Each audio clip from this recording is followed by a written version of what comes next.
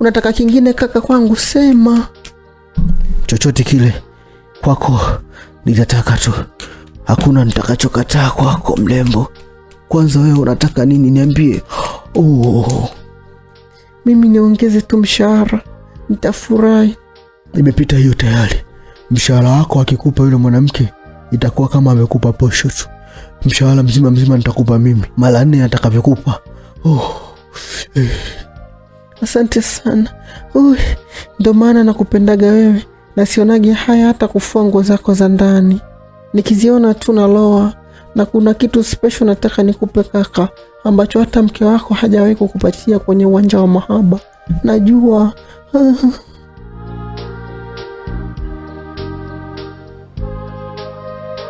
nikukaribishe katika chombezo ya mapenzi inayokwenda kwa jina la Dada wa Kazi. Mtunzi ni Elia Gwayeje na mimi ni Brother K kutokea Simulizi Mix Entertainment. Chombezo hii ni ya kufikirika tu, machache ya kujifunza jifunze, mengine ya kuburudisha na kusisimua tu, usiyatendee kazi. Tuwemo. Mwanadada au mwanamama Yunisi kulipokucha mapema asubuhi alikuwa bado amelala kitandani. Licha ya mumewe kuamka kwa ajili ya kujiandaa kwenda kazini, lakini yeye bado alikuwa yupo kitandani. Mwanamke huyo kama kawaida yake, yeye ni kulala mpaka ahakikishe ameumaliza usingizi wote ndipo haamke. Haijalishi iwe saa mbili asubuhi, saa nne au hata saa sita. Mumewe Benson alimaliza kuvaa suti yake ya kazini na kumsogelea mkewe kitandani, ambaye ndiyo kwanza alikuwa anajigeuza kitandani akiendelea kuuchapa usingizi. Naenda kazini mke wangu, tutaonana baadaye. Sawa, kazi njema. Mkewe alimjibu huku akijinyoosha kitandani. Mumewe akatikisa kichwa akijisikitikia mwenyewe kwa jinsi ambavyo mwanamke huyo asivyojali kuhusu maandalizi yake ya kwenda kazini. Akabeba begi lake la ofisini na kuanza kutoka taratibu kuelekea nje kwenye maegesho. Alielekea nje kwenye maegesho ili aingie kwenye gari lake, ndipo aliposikia geti dogo likigongwa na mlinzi akiwa amekaa kwenye kiti chake anauchapa usingizi. Mboya alimwita kwa ukali. Mlinzi huyo akakurupuka kutoka katika kiti hicho chenye mguu mmoja ambacho alikitegesha tu, akajikuta akianguka nacho mzima mzima chali baada ya kukurupuka. Na, nambosi aliinuka haraka haraka huku akiokota kiti hicho na kukiweka vizuri, kisha akamkimbilia bosi wake huyo badala ya kwenda getini ambapo kulikuwa kuna gongwa geti.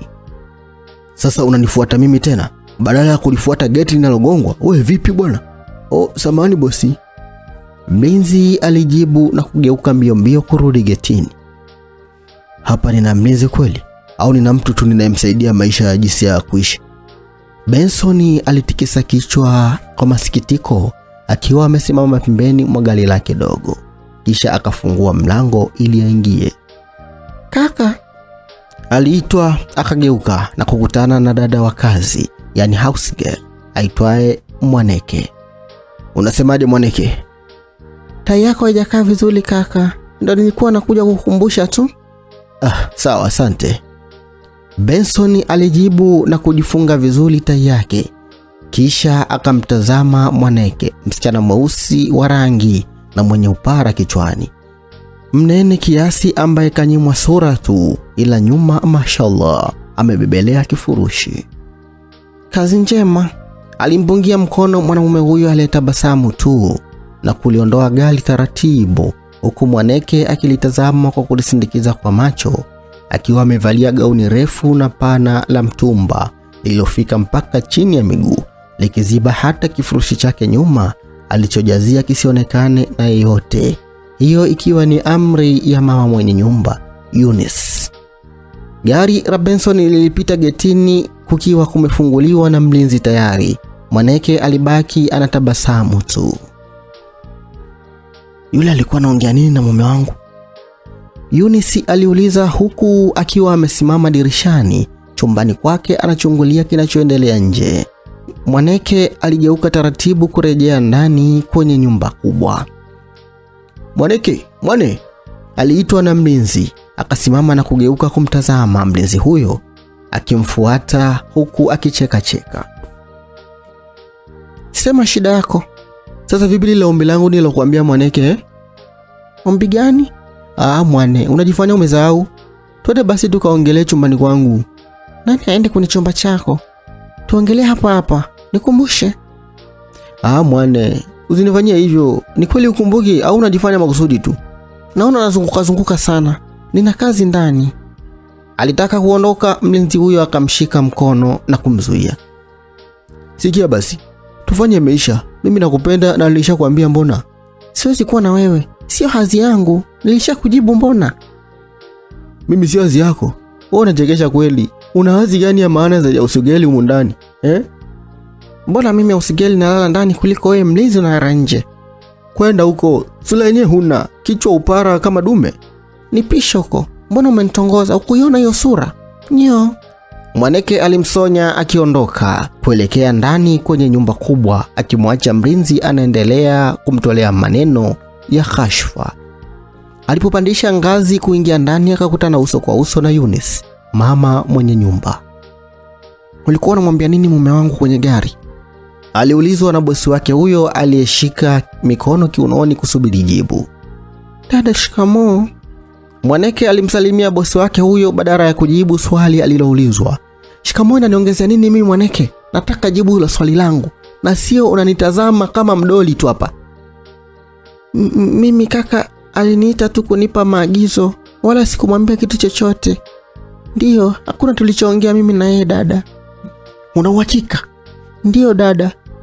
Mwane, ujitazame humu ndani umeingia kwa huruma tu. Wadada wenzio hawakaagi humu ndani, siku mbili tu wanaondoka kwa sababu ya huo huo ujinga wao. Mimi sipendi ujinga na sijuagi kucheka cheka na mjinga mimi, sawa? Nakuelewa dada. Potea, kuna nguo zinakusubiri na kazi zote humu ndani zifanyike sasa hivi. Mimi naenda zangu saluni saizi. Sawa dada. Mwaneke alimuitikia bosi wake huyo huku akimpita akisonywa. Yunisi akarudi chumbani kwake taratibu, huku Mwaneke akielekea chumbani kwake, na alipofika alikutana na simu yake ndogo kiswaswadu ikiita kitandani. Akaichukua na kuitazama. Namba ni ya Benson, baba mwenye nyumba, mume wa Eunice. Kabla ajapokea akaweka koo lake vizuri kwanza, akirekebisha sauti, kisha akaipokea na kuweka sikioni bila kuzungumza chochote. Mwani, abe kaka, aliongea kwa sauti ya kubana ya kudeka. Vipi, salama? Upo nyumbani? Ipo nyumbani kaka. Oh, huyu mwanamke yupo? Mwanamke gani kaka? Mke wangu yupo, ila atatoka, nataka kwenda saluni nadhani. Kwani namba yangu umeipata wapi kaka? Mbona sijai kukupa? Kwani vibaya mimi kuwa na namba yako mwane? Hamna, nimeuliza tu, sio kwa ubaya. Nimeipata kwa huyo mwanamke, nimeichukua kwenye simu yake. Oh, sawa. Sasa nawe mbona namba yangu umeitikia tu haraka haraka, ikionekana kabisa umesevu? Umeipata wapi? Kwani nilikupa namba yangu? Um, amna, mimi nime nime. Mwaneke alishindwa kujibu, akijiumauma maneno tu, akitafuta cha kusema. Okay, okay, okay, tuache hayo. Atarudi saa ngapi huyo alienda saluni? Mm, sijui saa ngapi, ila akiendake saluni mfano saa hizi asubuhi, basi kurudi saa kumi na mbili jioni au saa moja hivi, arudiki mapema kivile. Sawa, asante. pensoni alijibu na kukata simu. Mm, mbona maswali mengi leo huyu mwanamume, kulikoni? Mwaneke aliguna huku akitazama simu. We mjinga mjinga, alikalipiwa akashtuka kutazama mlangoni. Alimwona yunisi mke wa Benson akiwa amesimama anamtazama. Abe dada, yaani nimekuambia ufanye kazi, wewe unaongea na simu na mabebi zako eh? Amna, ni kaka yangu tu huyu, na hiyo simu ipo siku nitaitupia chooni. Nguo zinakusubiri nje, haya haraka sana. Sawa dada. Mwaneke alijibu kwa hofu na kutoka haraka haraka akimpita bosi wake huyo mlangoni huku akisonywa.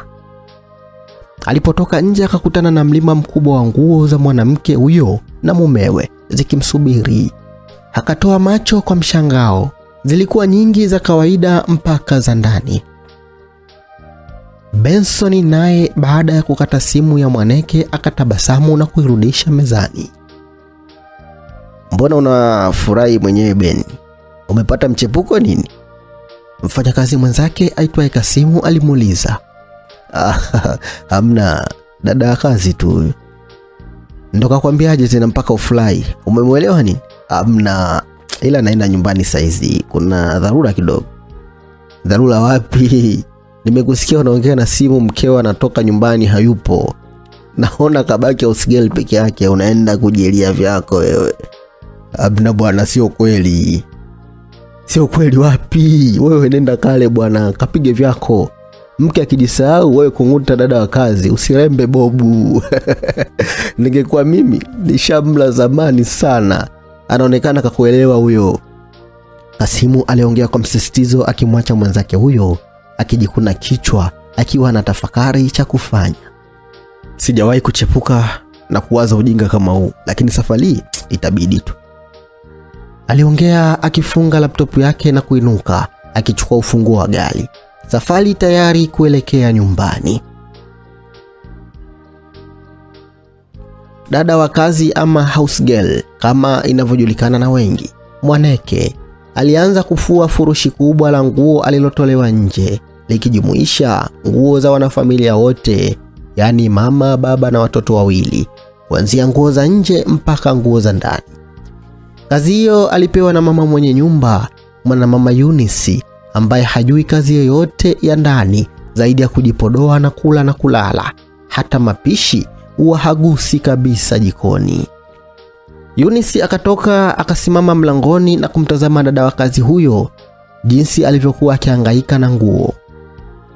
Eh, hapa kazi tu, hakuna kulala, hakuna hela hapa inayotoka bulebule. Umeomba kazi, fanya kazi, alimwambia. Sawa dada, Mwaneke aliitikia huku akizichambua chambua nguo akitafuta za kuanza nazo, hasa nyepesi. Na ufue vizuri hizo nguo zote ziishe na zitakate, sio imradi tu, sawa? Mwanadada huyo alimjibu huku akimpita akiwa tayari ameshajiandaa akielekea getini kwa ajili ya kutoka, bajaji ikiwa tayari imeshafika inamsubiri. Hivi huyu mwanamke anajionaje? Kwa mfano, Mwaneke alimtazama bosi wake mpaka alipondoka, akazitupa nguo hizo akizichambua chambua kwa hasira na kuzitapanya, kisha akasimama huku akiwa ameshika kiuno akishusha pumzi. Nimekwambia mimi si unajifanya mjuaji, kazi kwako, fua hizo nguo. Ungenikubalia ningekusaidia, tungefua moja baada nyingine kwa mahaba kabisa mpaka tungemaliza. Mlinzi alimwambia Mwaneke, akamgeukia akimtazama kwa kumpandisha na kumshusha. Nani alikwambia nataka msaada wako? Nani? Mimi? Thubutu! Ni heli niziache tu bila kuzifua kuliko kusaidiwa na wewe, mtu usiye na mbele wala nyuma. Mimi na wewe mwane, ni nani asiye na mbele wala nyuma? Ungekuwa una mbele wewe, ndo ungefulishwa minguo yote hiyo. Eh, naifua ndiyo. Siku si nyingi utajua nguvu ya mwanamke, sio kama yako wewe mwanamume, na utajuta kunichukulia poa. Subutu, unaota ndoto za mchana wewe. Eh, nitakutuma kuanzia maji mpaka kunibeba kunipeleka chooni, mjinga wewe. Unaleta dharau mwane, usinichukulie poa. Mimi nikubebe wewe na upala wako huo. Mlinzi alishikwa na hasira baada ya vita ya maneno aliyoanzisha kuanza kumshinda. Eh, kwani si nitakulipa? Acha dharau, nitakupiga. Mlinzi alivuta gauni la Mwane. Hebu niache, utanichania gauni langu. Alijitahidi kujitoa mkononi mwa mlinzi huyo. Kwa bahati nzuri, honi ya gali ilisikika getini. Wewe bahati yako, ningekupasua. Sipendi dharau mimi, mlinzi alimwonya huku akiliachia gauni lake. Si umechokoza nyuki mwenyewe? Acha wakuume sasa, mweu nini? Mwaneke alijiwekaweka vizuri gauni lake huku oni ikiendelea kupiga mfululizo getini. Mlinzi akakimbilia getini na kulifungua.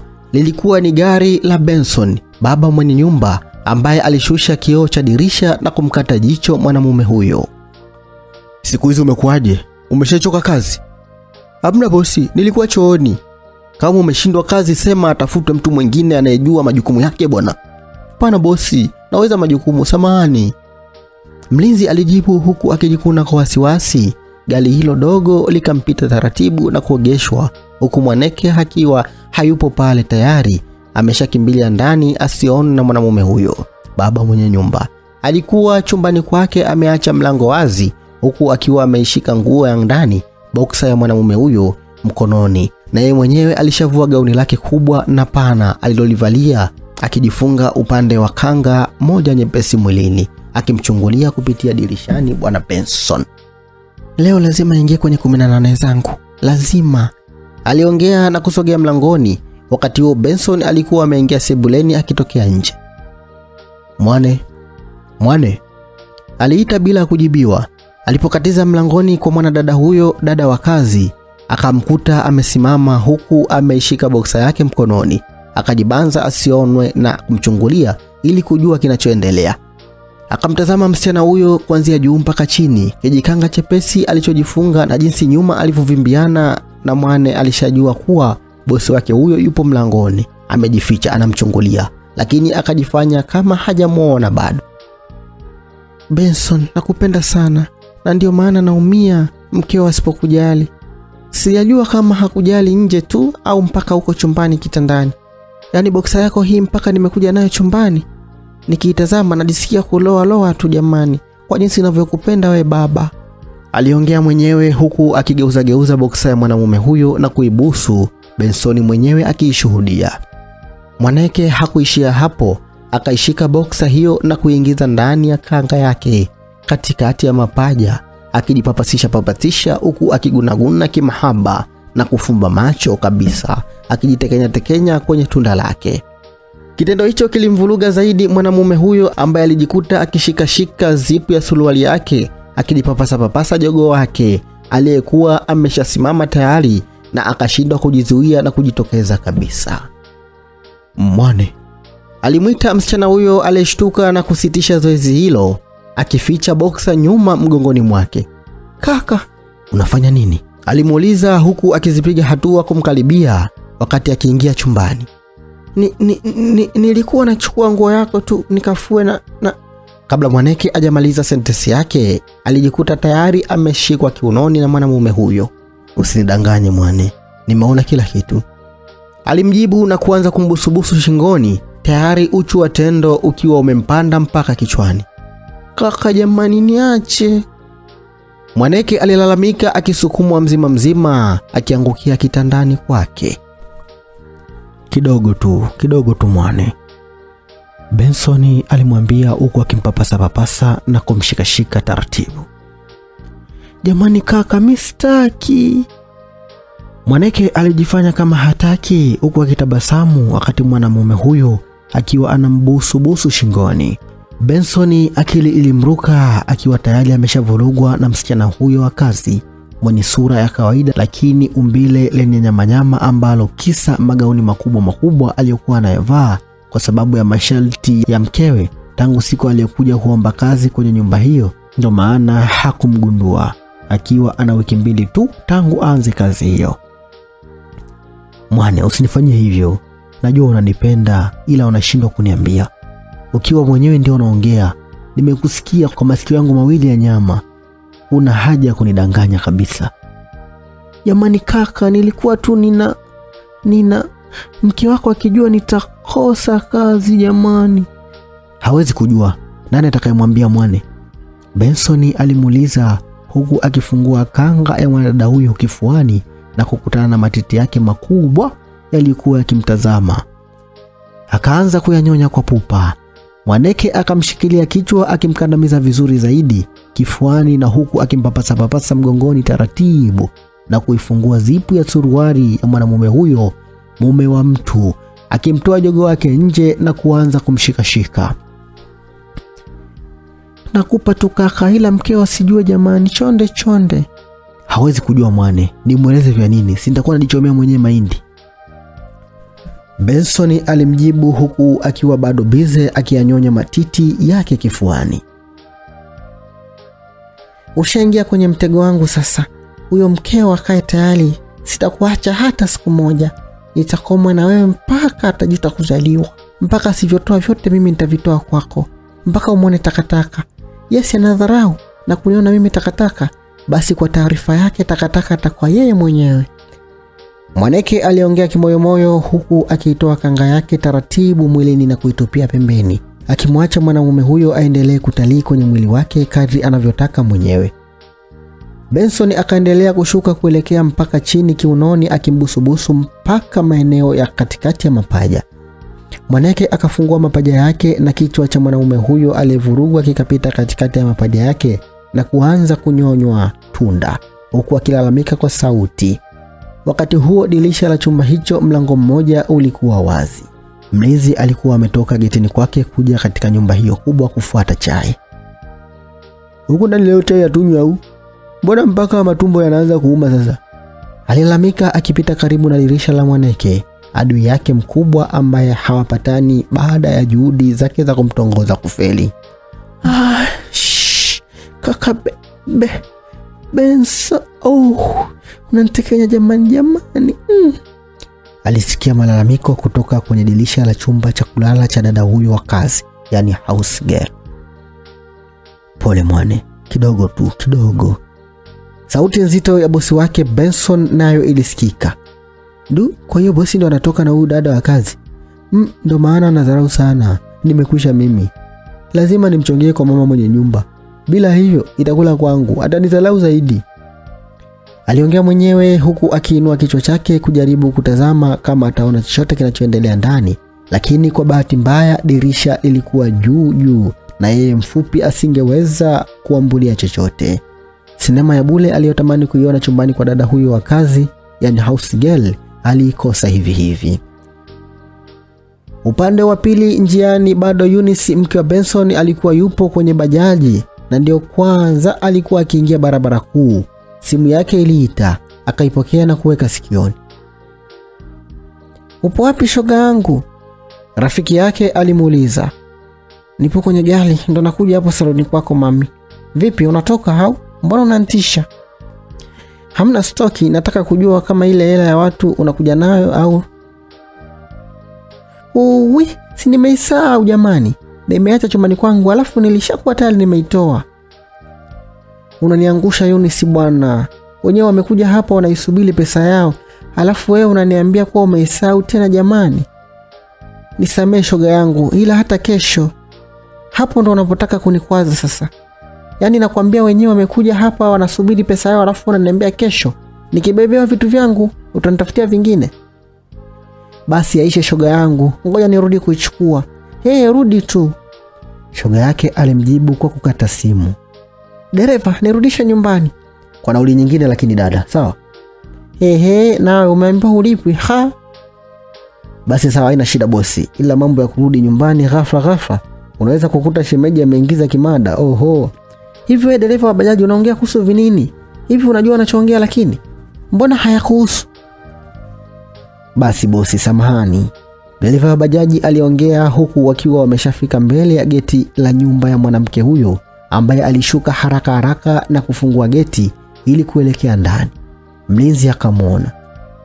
Safi sana, wao, umerudi muda mwafaka sana mama mwenye nyumba, aliongea kimoyomoyo huku akitabasamu. Chumbani mambo yalikuwa ya moto kati ya baba mwenye nyumba Benson, mwanamume kijana mwenye miaka zaidi ya thelathini, na msichana wa kazi Mwaneke, wakiwa kitandani wanafanya yao baada ya mtego wa mwanadada huyo kufanikiwa. Benson alikuwa amelala chali na mwanadada huyo amemkalia kwa juu kiunoni, amemkalia jogoo mwanamume huyo aliyezama kwenye tunda lake akikata mauno ya kufa mtu huku akirukaruka matako yake makubwa yakijipigapigiza kwenye mapaja ya mwanamume huyo. Mlio ulikuwa ukisikika. Ui, utaniua Benson na kufa mwenzio jamani, jamani, oh. Aliguna kimahaba akilalamika lalamika mwanadada huyo. Haufi mlimbo, nipe tabu, nipe yote. Benson alilalamika huku akiwa ameatoa macho huku mikono yake imeshika matiti ya mwanadada huyo kifuani wakati akirukaruka juu ya jogoo wake aliyezama kwenye uchi wa msichana huyo dada wa kazi. Unataka kingine kaka kwangu? Sema. Chochote kile kwako nitataka tu, hakuna nitakachokataa kwako mlembo. Kwanza wewe unataka nini? Niambie. Oh, Mimi niongeze tu mshahara, nitafurahi. imepita hiyo tayari. Mshahara wako akikupa yule mwanamke itakuwa kama amekupa posho tu. Mshahara mzima mzima nitakupa mimi mara nne atakavyokupa. Oh, eh. Asante sana. Uy, ndo maana nakupendaga wewe, na sionagi haya hata kufua nguo zako za ndani. Nikiziona tu naloa, na kuna kitu special nataka nikupe kaka, ambacho hata mke wako hajawahi kukupatia kwenye uwanja wa mahaba. Najua kitu gani hicho mwanaike? Benson aliuliza huku akihemahema wakati akiyashuhudia mauno ya msichana huyo ambaye anaonekana ni Mswahili kabisa anayejua kuunga viuno kwenye mapishi ya kitandani. Akajitoa kifuani mwa bosi wake huyo baba mwenye nyumba na kuanza kunyonya chuchu za matiti yake taratibu kifuani, huku akimpapasapapasa jogo wake aliyesimama, huku ameloana chapachapa maji ya kwenye kisima cha msichana huyo wa kazi. Oh, mwane, acha mambo yako bwana, acha. Benson alilalamika wakati ulimi wa msichana huyo ulipokuwa akizitekenya tekenya chuchu zake kifuani, huku jogo wake akipapaswa papaswa tangu kichwani kwenye madafu mawili na kutikiswa tikiswa. Kaka, jamani. Alimwambia kwa sauti ya kudeka, akiendelea kumchua jogo huyo kama akimpigisha punyeto. Benson kutokana na kushikwashikwa na kutekenywa kwenye chuchu zake kifuani, akijikuta akiwachia mkojo wa hamu bila kupenda, ukiluka na kuchafua mkono wa Mwaneke, huku mwingine ukiangukia kitandani kwenye shuka, akibaki ana hema hema juu juu. Uh, ah, alilalamika kama mtoto mdogo. Pole jamani kaka. Maneke aliongea wakati wote wakiwa uchi kama walivyozaliwa. Kisha mwanadada huyo akainama akibongoa na kuyashika matako yake makubwa na meusi, akiyatingisha tingisha na kuyapanua taratibu, akiwaonyesha mkei wake mbele ya Benson na kushikashika, akijitia kidole cha kati na kulalamika mwenyewe. Mwane, Njoo chomeke kaka. wapi tena mwane? Mbona sijawahi? Onja tu kaka, kama mbaya utaacha, kama tamu endelea. alimwambia huku akimlegezea macho na kuendelea kuyarusharusha matako yake makubwa mbele ya mwanamume huyo ambaye aliinuka pale alipolala na kumfuata kwa uchu akielekea kuyabusu matako yake makubwa moja baada ya jingine. Udenda ulimtoka akiyatolea macho akiwa haamini kabisa kama ameruhusiwa kuingiza jogo wake kwenye njia nyingine haramu ya mwanadada huyo wa kazi ambayo hajawahi na wala kufikiria kuitumia.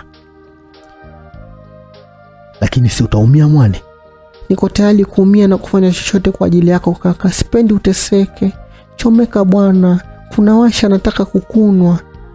Alilalamika kwa sauti ya kudeka huku akichezea mkei wake kwa makusudi ukipwitapwita, akizidi kumvuruga mwanamume huyo ambaye alimshika jogo wake na kuanza kumlengesha taratibu ili amchomeke. Lakini kabla hajamchomeka, akiwa amemgusisha tu kichwa, kuna sauti aliisikia. Huyu mwanamke ina maana hata kufua hajaanza bado, tangu muda ule mpaka saizi. Na huyu Benson amerudi nyumbani saizi kufanya nini? Mbona kuko kimya hivi ndani? Sauti hiyo ya Eunice ilisikika ndani. Oh, mwane, mke wangu amerudi. Ah. Benson alisitisha zoezi hilo haramu walilotaka kulianzisha kitandani. Huwi kaka, nilikwambia mimi hukutaka kunisikia. Mkia huyo sasa amerudi, nifanye jamani, jamani, akitukuta si ataniua. Toka haraka, toka kaka. Mwane alihaha huku akishuka kitandani kwa woga. Benson haraka haraka alishuka kitandani na kuvaa nguo zake baada ya kusikia sauti ya mkewe Bi Eunice sebuleni akiwatafuta wote wawili, yeye pamoja na dada wa kazi Mwaneke ambaye alijifunga kanga yake aliyoiokota chini. Harakisha, harakisha jamani, kuwa makini sijaka akakuona. Mwanadada huyo alisisitiza. Baadaye basi mwane, tutaendelea tulipoishia sawa? Benson alimwambia Mwaneke akatikisa kichwa kwa kukubali. Mwanamume huyo akasogea mlangoni taratibu na kufungua, akichungulia sebuleni kutaka kujua mkewe yupo upande gani. Akamwona akiwa anapita kuja huko chumbani kwa Mwaneke alipo. Akarudisha mlango haraka kabla hajaona. Kuna nini kaka Ben? Shh, mwane, mke wangu anakuja, njoo hapa mlangoni. Waliongea kwa kunong'ona. Mwaneke akasogea mlangoni haraka haraka na mwanamume huyo akajificha nyuma ya mlango huo ili mkewe asimwone akifika. Uso kwa uso, dada wa kazi huyo akakutana na uso wake wa bosi wake wa kike mwenye nyumba hiyo, Eunice. Dada, umerudi? Mwaneke alijichekesha kwa mwanamke huyo ambaye hakucheka wala kutabasamu. Akamshusha kuanzia juu kichwani mpaka chini miguuni na kumpandisha kuanza chini miguuni mpaka juu kichwani, kisha akasonya. Kwa hiyo zile nguo zangu nimeondoka mpaka sasa ziko pale pale, hazijaguswa wala kufuliwa? Amna dada, nilikuwa nafagia fagia ndani kwanza ndo nifue, ila mbona nimeanza tayari. Kwa hiyo mimi ni chizi ambaye nimekuta furushi la nguo lipo pale pale chini, au sio? Hapana dada, wala sio chizi. Sasa unavyonikatalia unamaanisha nini? Naenda kufua jamani. Mwaneke alijibu akitaka kumpita, lakini akashikwa mkono na kurudishwa, huku mwanamke huyo akitazama tazama chumbani humo akikagua. Unaenda wapi? Hatujamalizana bado. Ehe, kijikanga kimoja vipi kwenye nyumba yangu? Nilikuwa nabadilisha nguo dada, nisingeweza kutoka hivi jamani. Eti nilikuwa nabadilisha nguo. Huoni haya wewe? Mume wangu amerudi harafu unavaa namna hiyo. Lengo lako ni nini hasa? Dada, mimi sikuvaa hivi ili nitoke jamani. Nilikuwa chumbani tu na toka hapa. Mpuzi wewe, kavae gauni kubwa haraka. Alimsukuma akimrudisha chumbani almanusula anguke, akashikilia mlangoni. Benson alishuhudia akiwa nyuma ya mlango, akajisahau na kutaka kumdaka msichana huyo wa kazi, lakini akakumbuka kuwa yupo mafichoni, akaishia kumwangalia tu. Mkewe akaondoka kuelekea chumbani kwao. Upo sawa? Haujaumia mwane? Sijaumia, nipo sawa. Ungetoka haraka sija karudi chumbani kwangu akakukuta. Sawa. Benson alijibu na kutoka chumbani humo haraka haraka, na wakati anatoka tu mkewe Eunice naye alikuwa anatoka chumbani kwao. Almanusula amwone chumba alichotokea, lakini alizunguka haraka na kufanya anatokea nje, na uzuri Mwaneke alisharudi chumbani kwake kuvaa. Mkewe huyo asingejua kilichokuwa kinaendelea. Mbona mapema Benson? Hamna kazi leo ofisini. Na mbona hujaniambia chochote kama unarudi ama la? Sijakukuta ndo maana. Ningekukuta ningekwambia. Ulikwenda wapi? Nilikwenda kusuka. Sasa kuna kitu nimesahau ndo maana nimerudi mara moja. Kama kawaida yako. Kwa hiyo unaenda tena? Eh, sijasuka sasa. Unadhani nitakaaje namna hii na manywele haya jamani? So umesuka juzi tu Yurisi mke wangu jamani. Bwana we, mi sipendi kukaa na nywele wiki nzima. Ah, basi sawa. Ndo naondoka, nilifuata tu mzigo wa watu. aina neno, na hata mimi naondoka muda si mrefu, tutakutana baadaye. Naenda kutazama mpira. Sawa. Mwanamke huyo alimjibu mumewe akiondoka na mkoba wake mkubwa aliyoweka pesa anazopeleka kwa rafiki yake saluni kulipa deni analodaiwa. Usingerudi bwana, unanikatisha mambo matamu hivi hivi. Benson aliongea kwa sauti ya chini huku akisonya. Wakati huo huo, Eunice mke wa Benson alifika mpaka getini. Naona mama unatoka eh? Mlinzi Mboya aliongea huku akijichekesha chekesha. Eh, natoka ila kuna kazi nataka nikupe ya humu humu ndani, ila uifanye kwa siri sana, wahusika wasijue chochote. Kazi gani tena mama? Nipe, nitaifanya mimi tena navyopenda kazi. Afu tabia kuniita mama hiyo siipendi Mboya. Yaani mimi mzee, kwani ukiniita dada inakuwaje? Samani dada, si unajua wewe ni bosi wangu. Ndio unizeeshe mapema. Sawa bosi, kazi gani hiyo? Hakikisha unamfuatilia kila hatua nyento za mume wangu na lile la usigeli lipumbavu lisije likaanza ujinga ujinga, maana limeanza kuvaavaa ovyo. Usijali mama, hiyo mbona imeisha? Ah, samahani, ni dada jamani. Wewe jifanye kiziwi tu. Haya, baadaye. yunisi aliongea huku akitoka kwenye geti dogo taratibu kuifuata bajaji iliyokuwa ikimsubiri nje muda wote. Kazi nzuri sana na uzuri tayari nimeshafanya kabla sijapewa majukumu. Sasa yule mwaneke ama anipe utamu au nimchongee kwa mama mwenye nyumba. Mlinzi aliongea huku akielekea kwenye nyumba kubwa. Wakati huo Mwaneke alitoka nje kuzifuata nguo na kumtazama kama bosi wake huyo wa kike ameshaondoka. Akakutana na mlinzi akichekacheka. Kikuchekeshacho? Nimesikia yote. Kumbe unatembea na bosi. Sasa chagua moja, nimwambie bosi au nipe utamu, maana amenipa kazi ya kufuatilia wewe na mume wake. Mlinzi alichekacheka. Mwaneke alibaki amezubaa akikosa cha kujibu. Mke wangu amekupa kazi gani? Hebu rudia tena. Mlinzi aliulizwa. Akigeuka kutazama pembeni, akashtuka kumwona Benson akiwa amekunja uso akisubiri jibu. Naam bosi. Mlinzi alijikuna kichwa akijifanya hajasikia vizuri swali liloulizwa na Benson. Hujanisikia au makusudi tu? Nimekuuliza hivi, umepewa kazi gani na mke wangu na atakulipa kiasi gani? Benson aliuliza kwa msisitizo. Hamna bosi, mke wako ameniambia tu niangalie angalie mazingira hapa nyumbani. Alijichekesha. Mazingira ya nyumbani wapi? Uongo, wakati umeambiwa unichunguze chunguze mimi. Mwaneke aliongea.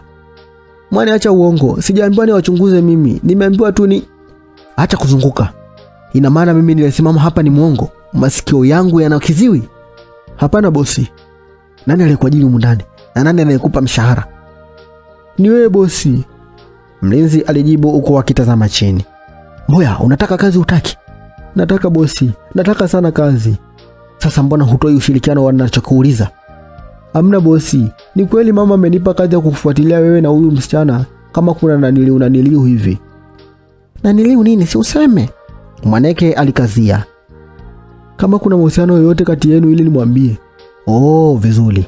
Basi wa mdomo wako ufumbe kimya ukitaka kuendelea kukaa humu ndani vizuri na kufanya kazi yako vizuri, na mshahara wako wa mwezi huu utakaopokea kesho kutwa nitakuongeza, sawa? Ah, ni kweli bosi. Kweli kabisa kabisa, yani. Da, asante sana bosi. Mlinzi alishangilia akirukaruka, lakini kwa sharti moja tu, iwapo utakaa ki iwapo nitakaa kimya na kufunga domo langu nisimwambie mkeo utakachoendelea kati yako na dada wa kazi. Mlinzi alimalizia sentensi ya Benson. Na uhakikishe ukisikia hodi getini unakuja kutujulisha. Tumeelewana? Ndio bosi. Tumemaliza. kaendelea na majukumu yako. Sawa bosi. Mlinzi aligeuka akitaka kuondoka taratibu. Anaenda wapi bwana? Angefua hizi nguo, mimi nimechoka. Waneke alimwambia Benson kwa sauti ya kudeka huku akimshika begani. Lakini ataziweza nguo zote hizi na amna bosi, hizi naziweza kabisa. Alafu saa hizi sina kazi yoyote ile, acha nizifue. Nyie nendeni tu mkapumzike. Alichekacheka huku akizikusanya kusanya nguo. Benson alitikisa kichwa akigeuka kurejea ndani. Mwaneke alibaki amesimama akimtazama mlinzi. Na uzifue hizo nguo vizuri zitakate. Na wewe kwenda huko.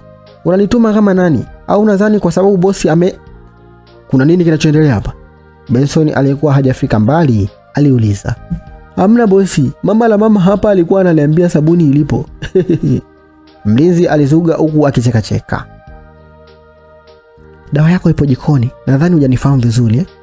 Mwaneke alimwambia mlinzi huyo kwa sauti ya chini na kuondoka taratibu, huku mlinzi akimsindikiza kwa macho.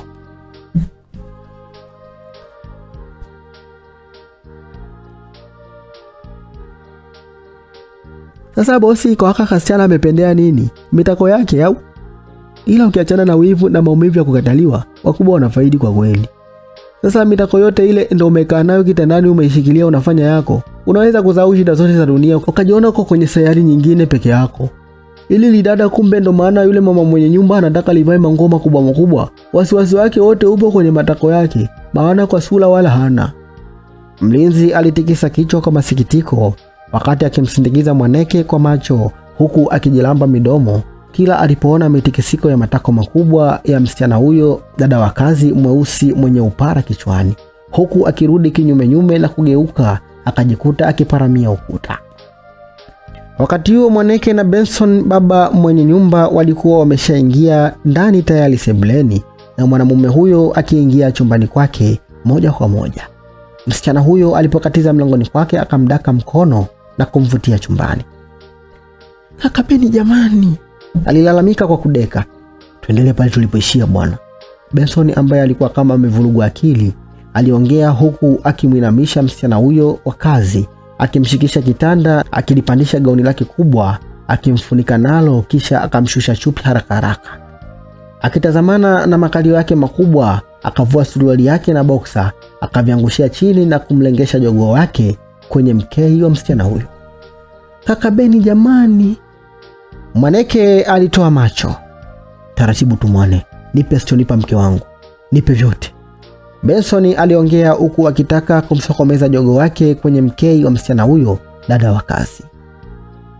hivyo naumia, nipake mafuta kwanza. Oh, sawa, ngoja. Alimwacha na kuyafuata mafuta kwenye meza ya kujipodoa, yani dressing table ya mkewe, kisha akarudi nayo taratibu.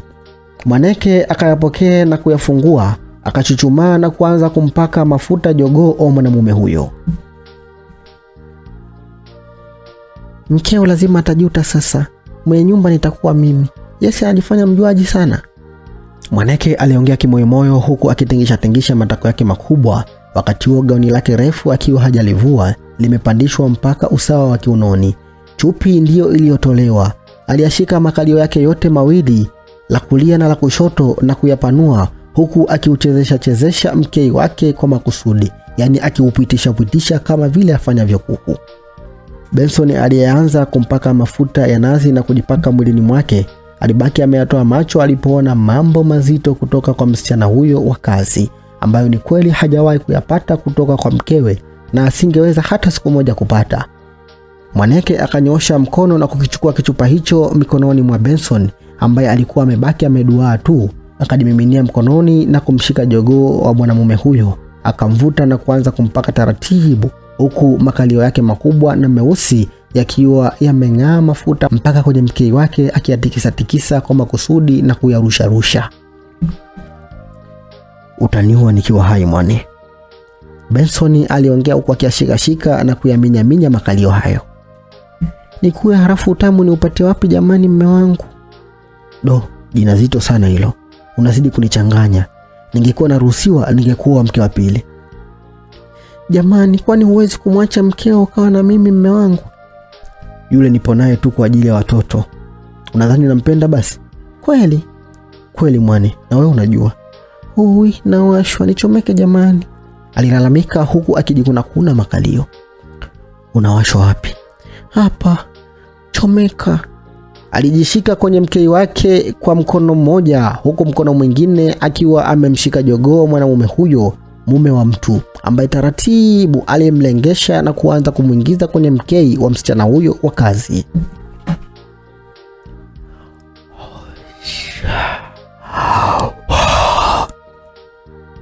Benson alilalamika mwenyewe huku akiwa ameachama mdomo kutokana na utamu aliyousikia alipoanza kuingiza kichwa cha jogoo wake kwenye mkei wa Mwaneke. Wakati huo mlinzi Mboya hakuwa mbali, alikuwa kwa nje dirishani ametega sikio akisikiliza kinachoendelea chumbani kwa bosi wake.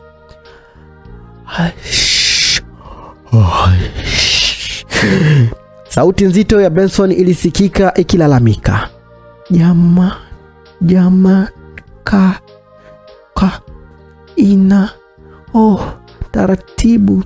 Mwaneke alisikika akilalamika. Pole, taratibu tu, taratibu, naingiza. Benson alimjibu huku mlinzi Mboya akiwa ameingiza mkono kwenye suruali yake akimshikashika jogo wake. Da, wakubwa wanafaidi hapo. Ningekuwa mimi saa hizi, pesa hizi ukizikosa utapitwa na mambo mengi aisee. Aliongea mwenyewe huku akisikiliza miguno ya malalamiko yanayoendelea chumbani kati ya bosi wake Benson na dada wa kazi Mwaneke, msichana ambaye juhudi zake zote za kumtongoza ziligonga mwamba. Mboya hakuridhika kusikia tu, hakataka kuona kwa sababu dirisha la kioo cha aluminium lilifunguliwa, ila kukiwa na pazia tu. Ilibidi akimbilie viti vyake alivyoviacha getini na kuja navyo mbio mbio na kimya kimya akavipanga pembeni mwa ukuta karibu kabisa na dirisha hilo. Akapanda kwa mahesabu makubwa wasije wakamsikia ndani. Akiwa na fimbo yake mkononi, akalichoma pazia na kulivuta pembeni taratibu, na ndipo alipomshuhudia bosi wake akiwa amepiga magoti nyuma ya Mwaneke, akiwa amemchomeka jogoo kwa nyuma, akimsugua msichana huyo aliyebaki akilalamika na kupiga mayowe huku akitingisha tingisha matako yake makubwa. Mlinzi udenda wa uchu ulimtoka mdomoni ukaangukia kwenye kiti alichokanyaga na mkono wake mmoja ukiwa ndani ya suruali, akajikuta akimwaga wazungu ndani ya suruali yake. Akajichafua, akainama kujitazama na kujikuta akitereza kwenye udenda wake yeye mwenyewe uliangukia kwenye kiti. Akapiga mayowe akilishikilia dirisha ili asiende chini. Ndani wakamsikia na kushtuka, wakageuka na kumwona naye akiwatolea macho. Wewe, Benson aliita. Mlinzi huyo akaliachia dirisha baada ya kufumwa, na kabla hajashuka kwenye viti akakosa balance na kujikuta akiporomoka navyo mzima mzima mpaka chini chali. Nani tena? Mwaneke alitoa macho akiwa hajamwona vizuri mlinzi huyo. Benson pekee ndiye aliyemwahi na kumwona. huyo mlinzi mjinga mjinga, kumbe alikuwa anatuchungulia tu. Jamani, hukufunga dirisha? Mwaneke alimwambia bosi wake aliyemchomoa jogoo wake kwenye mkei wake na kulifuata dirisha mbio mbio. Akayafungua yote na kumshuhudia mlinzi huyo akiwa amelala chini chali, huku suruali yake imeloana kuanzia kwenye zipu mpaka mapajani, akionekana ameshusha vitu visivyo vya kawaida kutokana na video hiyo mubashara ya bure aliyokuwa akiitazama. We mpuzi, ulikuwa unafanya nini hapa dirishani kwangu? Amna bosi, nilikuwa napitapita tu hapa nikaona mtu mwizi upande wa udilisha nikaja kuchungulia, nikasikiana kelele za watu kama wanaomba msaada umo chumbani. Ndo mpuzi wewe, ngoja nikufuate huko huko nje. Benson alijibu na kugeuka akitaka avae nguo zake, lakini mwanake akamwahi na kumshika mkono. Jamani, unahangaika naye wa nini? Funga dirisha tuendelee, alimwambia huku akimshika jogoo mwanamume huyo akimvutavuta. Anazingua huyu mlinzi, ujue nitamwanisha kazi muda si mrefu. Benson alilifuata dirisha akiwa uchi huku jogo wake akinesanesa kiunoni katikati ya mapaja yake. Akalifunga na kurejea tena kitandani. Achana naye, anataka kukatisha tu utamu wetu.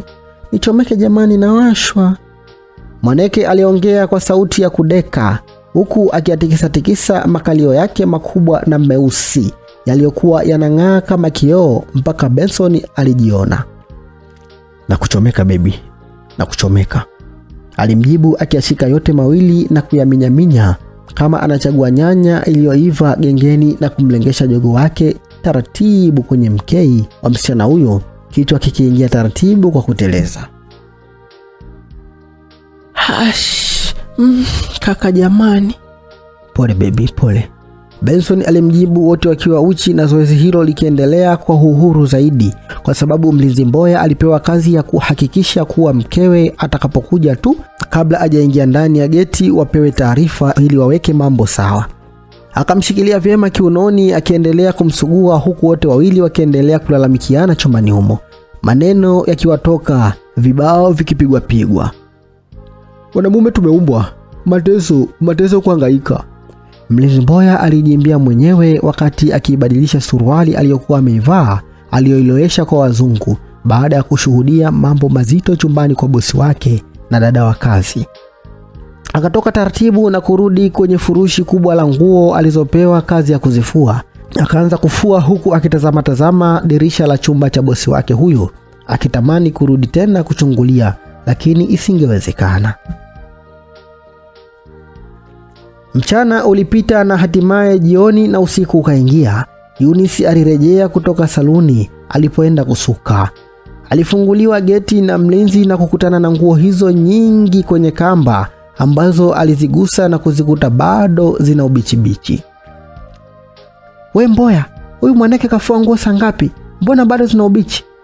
Alichelewa kidogo mama. Ah, soli dada, karibu.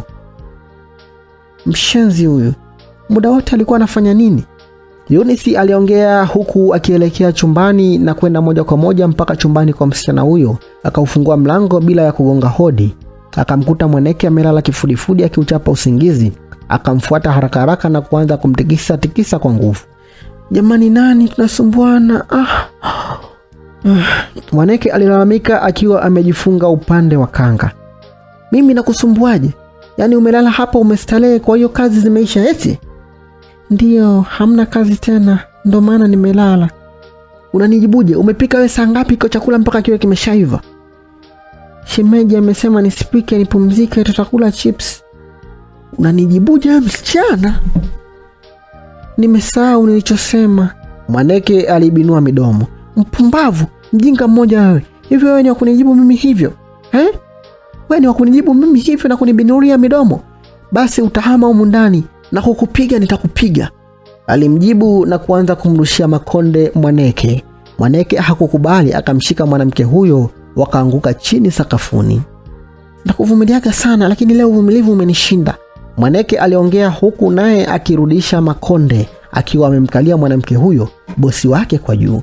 Uwi, Bensoni mme wangu, Bensoni nakufumie nakufa, ananiua huku. Yunisi alipiga mayowe baada ya kuzidiwa nguvu. Mumewe Benson akaja mbio mbio na kuwakuta wawili hao chini sakafuni. Kuna nini jamani? Mbona mnapigana? Hebu acheni kwanza. Mwane, vipi kulikoni? Mbona mnapigana tena?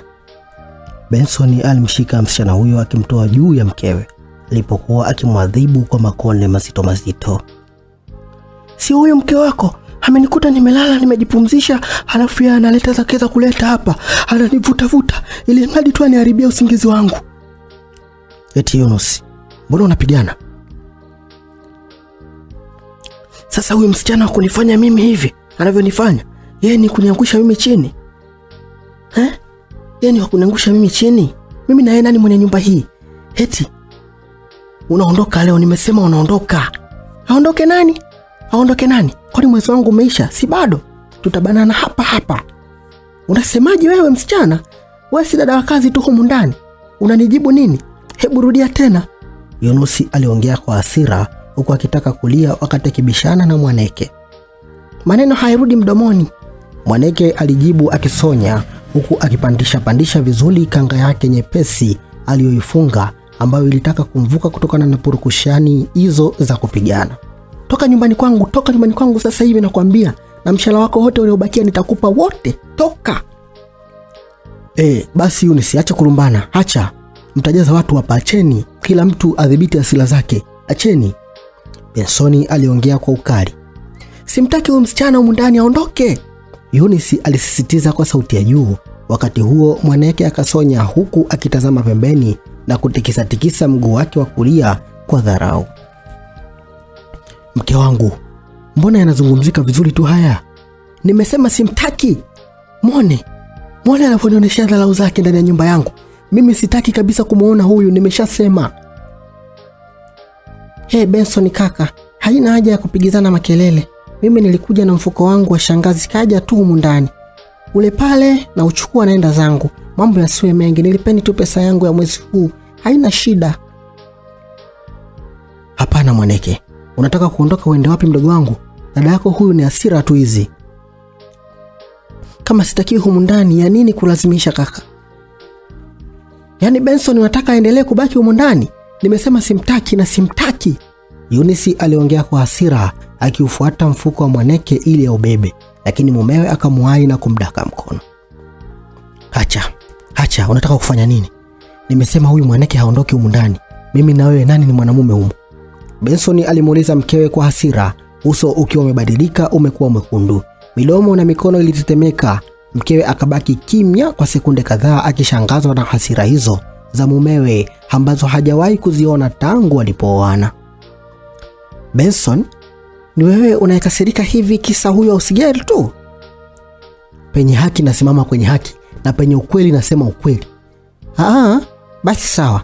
Kama huyu msichana haondoki humu ndani, mimi nitaondoka. Ungejua navyotamani uondoke humu ndani nijiachie na mumeo, usingechelewa. Ungeondoka tu haraka haraka ili nijivinjari. Nitampa vyote na popote pale mpaka sebuleni mpaka ombe po. Mwaneke aliongea kimoyomoyo huku akiwa amebinua midomo kwa dharau akimtazama Yunisi bosi wake. Basi sawa, tuone. Mimi naenda na ubaki na huyo udada wa kazi wako, au sio? Yunisi aliondoka kwa hasira kuelekea chumbani kwao kuchukua vitu vyake. Lakini kaka Ben, mimi sikutaka mfike hapa. Ona sasa mkeo anaondoka, mimi naenda. Mwaneke aliigiza akideka kama anataka kuondoka. Unaenda wapi na wewe mwene? Unadhani huyu mwanamke anaondoka basi? Hawezi kwenda popote pale. tulia, ni hasira zake tu. Sitaki kuwasababishia matatizo, najua ni kosa langu kaka. Hebu tulia mwene, usitake kunitibua na wewe. Benson alijibu na kuondoka kuelekea chumbani alipokwenda mkewe. Aondoke nani? Naigiza Su. nitabanana hapa hapa mpaka siku moja niwe mama mwenye nyumba hii. Mwane aliongea kwa kujiamini na kugeuka kutandika kitanda chake. Wakati huo Benson alikuwa chumbani na mkewe akimtazama alipokuwa anapanga nguo zake kuzijaza kwenye begi ili aondoke. Naenda zangu kwetu, kama huyo Sigeli haondoki basi naondoka mimi Ben. Vipi, nauli inatosha au nikuongeze? Benson alimuuliza mkewe. Yaani wewe kuniuliza nauli inatosha baada ya kunizuia nisiondoke? Mwanaume gani wewe? Unafikiri mimi naweza kupigana na maamuzi ya mtu eh? Kama umeamua fanya, gari ipo, ukiwa tayari niambie nikusindikize kabisa. Benson aliongea na kutoka chumbani taratibu, akimwacha mkewe anashangaa, na Mwane alikuwa mlangoni kwao amedibanza akisikiliza kinachoendelea chumbani kwao. Na bado ndo kwanza kazi imeanza. Mwane aliongea huku akitabasamu. Asubuhi na mapema kukiwa kumekucha kama kawaida ya wanandoa hao wawili, Benson aliamka peke yake na kujiandaa kwa ajili ya kwenda kazini. Wala mkewe Eunice hakuondoka usiku wa jana kama alivyotishia kisa dada wa kazi Mwaneke. Mumewe alivaa suti yake ya kazini kisha akatoka chumani bila kumwaga mkewe huyo ambaye alikuwa bado amelala na wala hakulala usingizi. Akageuka kutazama mlangoni punde tu mumewe alivyotoka. Oh, si umetaka huyu mpuzi Mwane abaki humu ndani eh? Basi sawa, hatajuta kwa jinsi nitakavyomfanyia mpaka yeye mwenyewe atahama. Alisonya na kuvuta shuka akiendelea kuuchapa usingizi kitandani. Wakati huo mumewe alikatiza maeneo ya jikoni na kumkuta Mwaneke akitengeneza chai. Akamfuata na kumkumbatia kwa nyuma. Mwane akashtuka. Mbona umeshtuka sana Mwane? Umenishtua Jamani, alimbusubusu shingoni. hmm. Jamani, mkeo yupo, akitukuta je? Amelala mbona bado? Amna bwanawe, mi sitaki kesi saizi. Mwaneke alimsukuma mwanamume huyo. Mwane, Eh, ukitaka fanya namna yote ile, tukutane leo nikupe unachotaka. Alishika tai ya mwanaume huyo akivuta huku akimlemburia macho na kujing'ata kidole, akigeuka na kulibana gauni lake kubwa na pana, kisha akamtingishia matako yake. Alizidi kumvuruga mwanamume huyo ambaye udenda wa uchu ulitaka kumtoka. Lazima nifanye jambo leo na siendi kazini. Kwa nini uendi kazini jamani? Usijali, wewe tulia tu, utaona anachotaka kukifanya, alimjibu huku akimpiga dole la kwenye makalio. Ah, jamani kaka Beni. Mwaneke aliongea kwa sauti ya kudeka akiruka. Mwanamume huyo alitoka jikoni mpaka nje na kuingia ndani ya gari lake. Mlinzi alimfungulia geti akatoka kwa mwendo mkali, huku mkewe aliyekuwa dirishani chumbani akimchungulia wakati alipokuwa akiondoka. Umeondoka eh? Sasa ngoja nikuoneshe kuwa mimi ndiyo mama mwenye nyumba humu ndani. Ninachokitaka lazima kiwe. Huyu msichana mjinga mjinga ataondoka tu, hataki asitake. Haiwezekani ashindane na kupigana na mimi nikamwacha hivi hivi. Mwanamke huyo aliapa na kutoka chumbani kwake taratibu kuelekea sebuleni. Akakutana na Mwaneke aliyekuwa amebeba chupa ya chai. Za asubuhi dada. Dada yako nani? Nimekusalimia tu. Oh, leo unakumbuka kunisalimia eh? Vipi jana ulipopigana na mimi? Kwani dada, mambo ya jana hayajaisha tu jamani. Na mimi si nilikuwa najitetea. Ndo utajua hujui. Tazama chini kuchafu, kufagia hujafagia, umepaacha hivyo hivyo. Mbona nimefagia dada? Hii michanga inayokanyaga sasa hivi imetoka wapi? Michanga ipi dada? Mbona mimi sikukanyaga mchanga? Oh, huioni? eh? Tazama vyombo vipo hovyo hovyo, yaani kila kitu vululu vululu humu. Alafu kingine, kuna ndugu yangu anakuja na msichana wiki ijayo, kwa hiyo jipange wiki hii. Nadhani tumeelewana, si ndio? Yunisi alizungumza akiondoka taratibu kwenda nje, huku yake akimsindikiza kwa kumtazama na kubinua midomo. imekula kwako bibi. Ungejua jinsi mumeo anavyonikubali wala usingejisumbua. Mwaneke aliongea kimoyomoyo akiguna. Yunisi alitoka mpaka nje getini, akaelekea nyumba ya jirani kupeleka pesa ya mchezo. Lakini mara kabla hajafika kwenye nyumba hiyo, gari dogo lilisimama mbele yake, ghafla na kufunga breki. Akashuka mwanaume mmoja aliyejifunga kitambaa usoni, macho yakionekana kininja, ambaye alikuwa na mwenzake dereva. Wote hawakuonekana nyuso zao, wakiwa wawili tu. Dada, habari yako? Alisalimiwa. Salama, za kwako? Alijibu kwa wasiwasi. Salama pia. Ingia kwenye gari. Kwenye gari? Kufanyaje? Nimekwambia ingia kwenye gari kabla hatuja kutoboa tumbo, usithubutu kupiga kelele. Mwanaume huyo alimwamrisha huku akimwonyeshea kisu mkononi. Jamani, kwani nimefanyaje? Nimewakosea nini? Ingia kwenye gari, sitaki maswali. Naingia, naingia baba. Aliingia kwenye gari hilo huku akitetemeka, na mwanamume huyo akaingia na gari likaondoka kwa kasi. Jamani, mnataka shingapi? Niwape, msiniue jamani, msinipeleke kubaya. Ngoja nimpigie mume wangu awatumie hela mnayoitaka jamani, jamani. Tulia mwanamke, tutakuchoma kisu sasa hivi. Nyamaza, tunaenda kukua na kukutafuna nyama. Mwanaume huyo alimjibu huku akimnyoshea kisu. Yunisi akatoa macho akibaki ameduaa aliposikia kauli hiyo kuwa anaenda kuuawa. Mwanadada Mwaneke alirudi jikoni kwa ajili ya kuosha vyombo, na muda huo huo mikono ikamshika kiunoni. Akashtuka na kujikuta akiangusha sahani ya udongo sakafuni iliyopasuka. Mwane, mbona hivyo? Umenishtua sana. Umerudi saa ngapi? Alimuuliza Benson akishangaa kumwona tena nyumbani sasa hivi. Ina maana hujafika kazini? Sijafika, sijaenda kabisa kwa ajili yako. Toka bwana, mkeo yupo. Mbona unakuwa uelewi? Shida utanichomesha mimi. Hayupo, uwanja ni wetu sasa, mimi na wewe.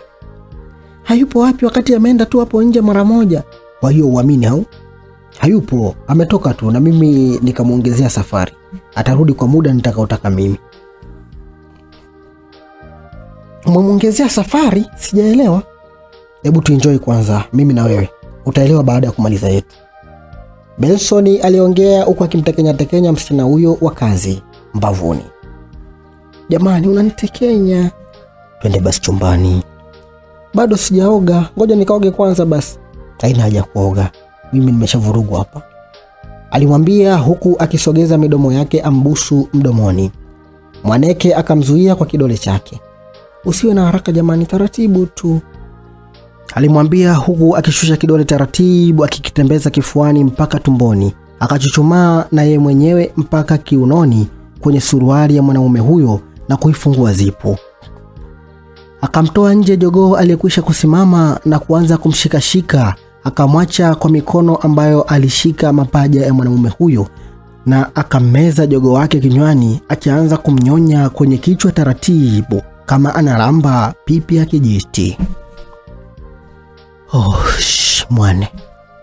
Benson alilalamika huku akitazama juu akiwa amefumba macho. Amevalia suti yake ya kazini bado, kutokana na mitekenyo ya midomo na ulimi wa Mwaneke ambaye alimshika jogoo kabisa na kuendelea kumnyonya. Mwanaume huyo akaona suruali inambanabana kupata utamu, akafungua mkanda na kuutupa chini, akishusha pamoja na boksa usawa magoti.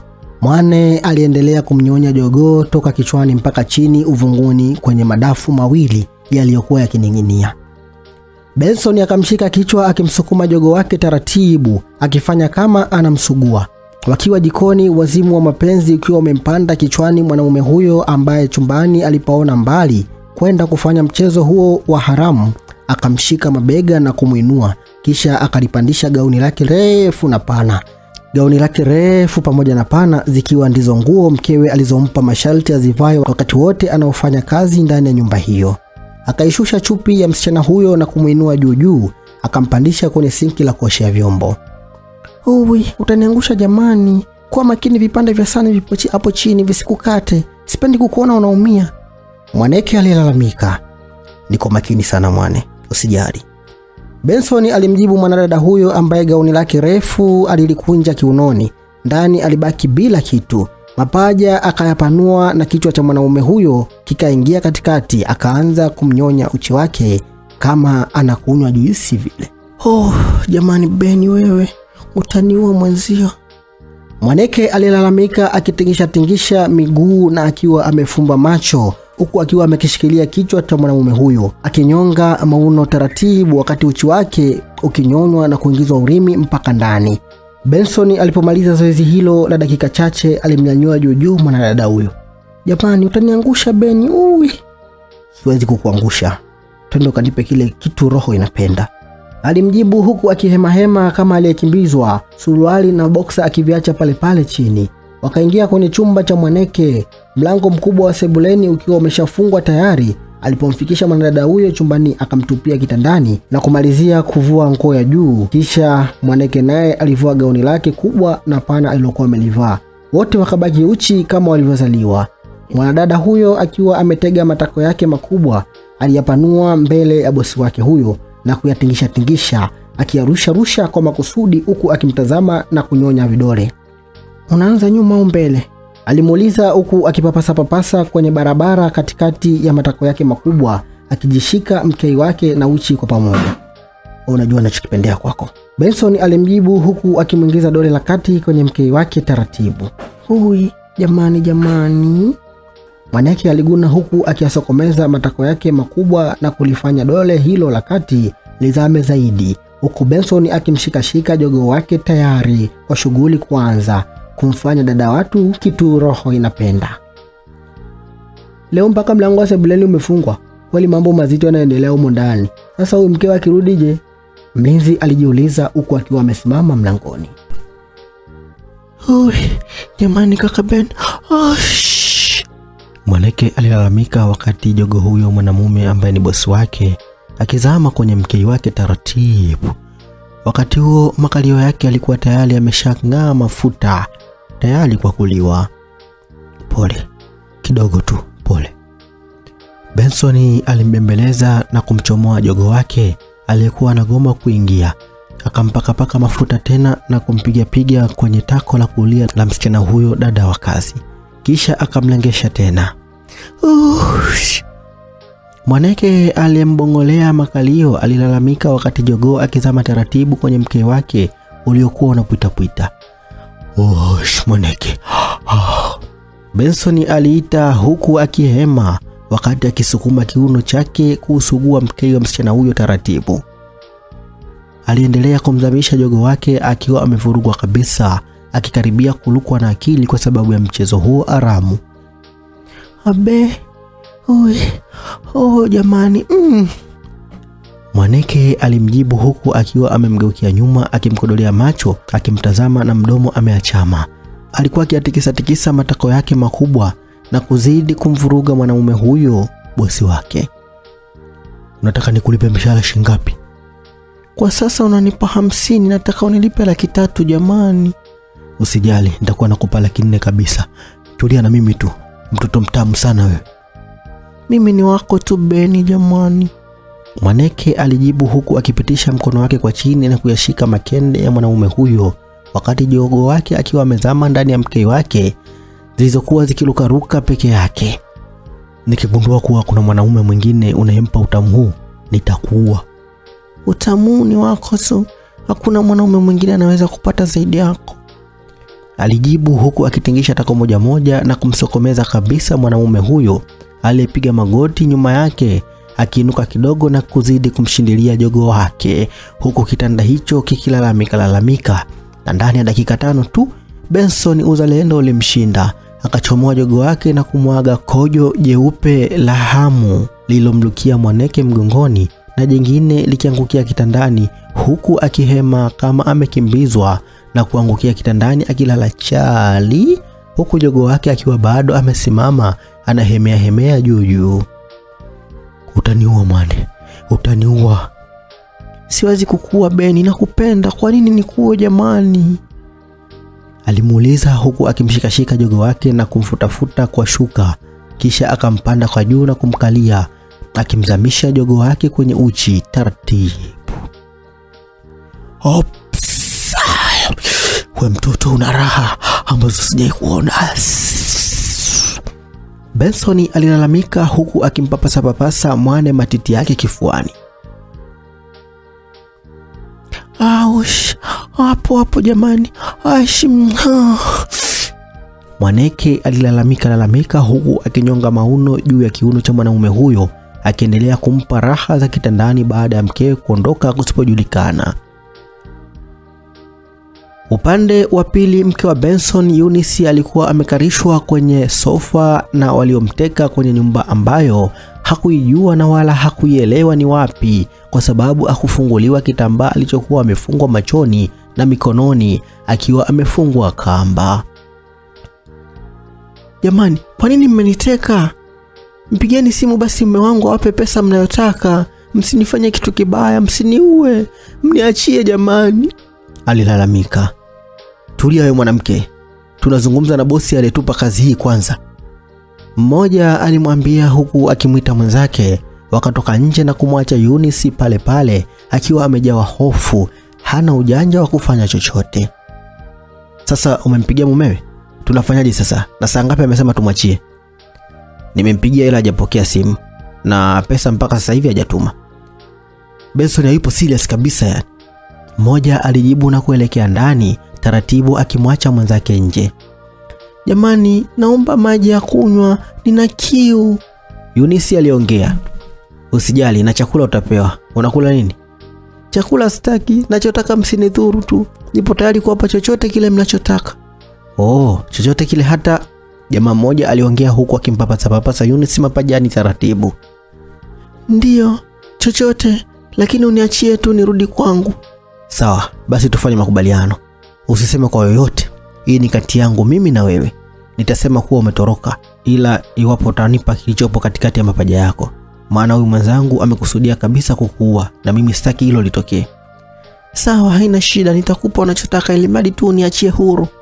Usijali, alimjibu na kuinuka taratibu akaelekea mlangoni. Akamkuta mwenzake bado amesimama kwa nje barazani akiwa anatazama mbele huku amemtupia kisogo.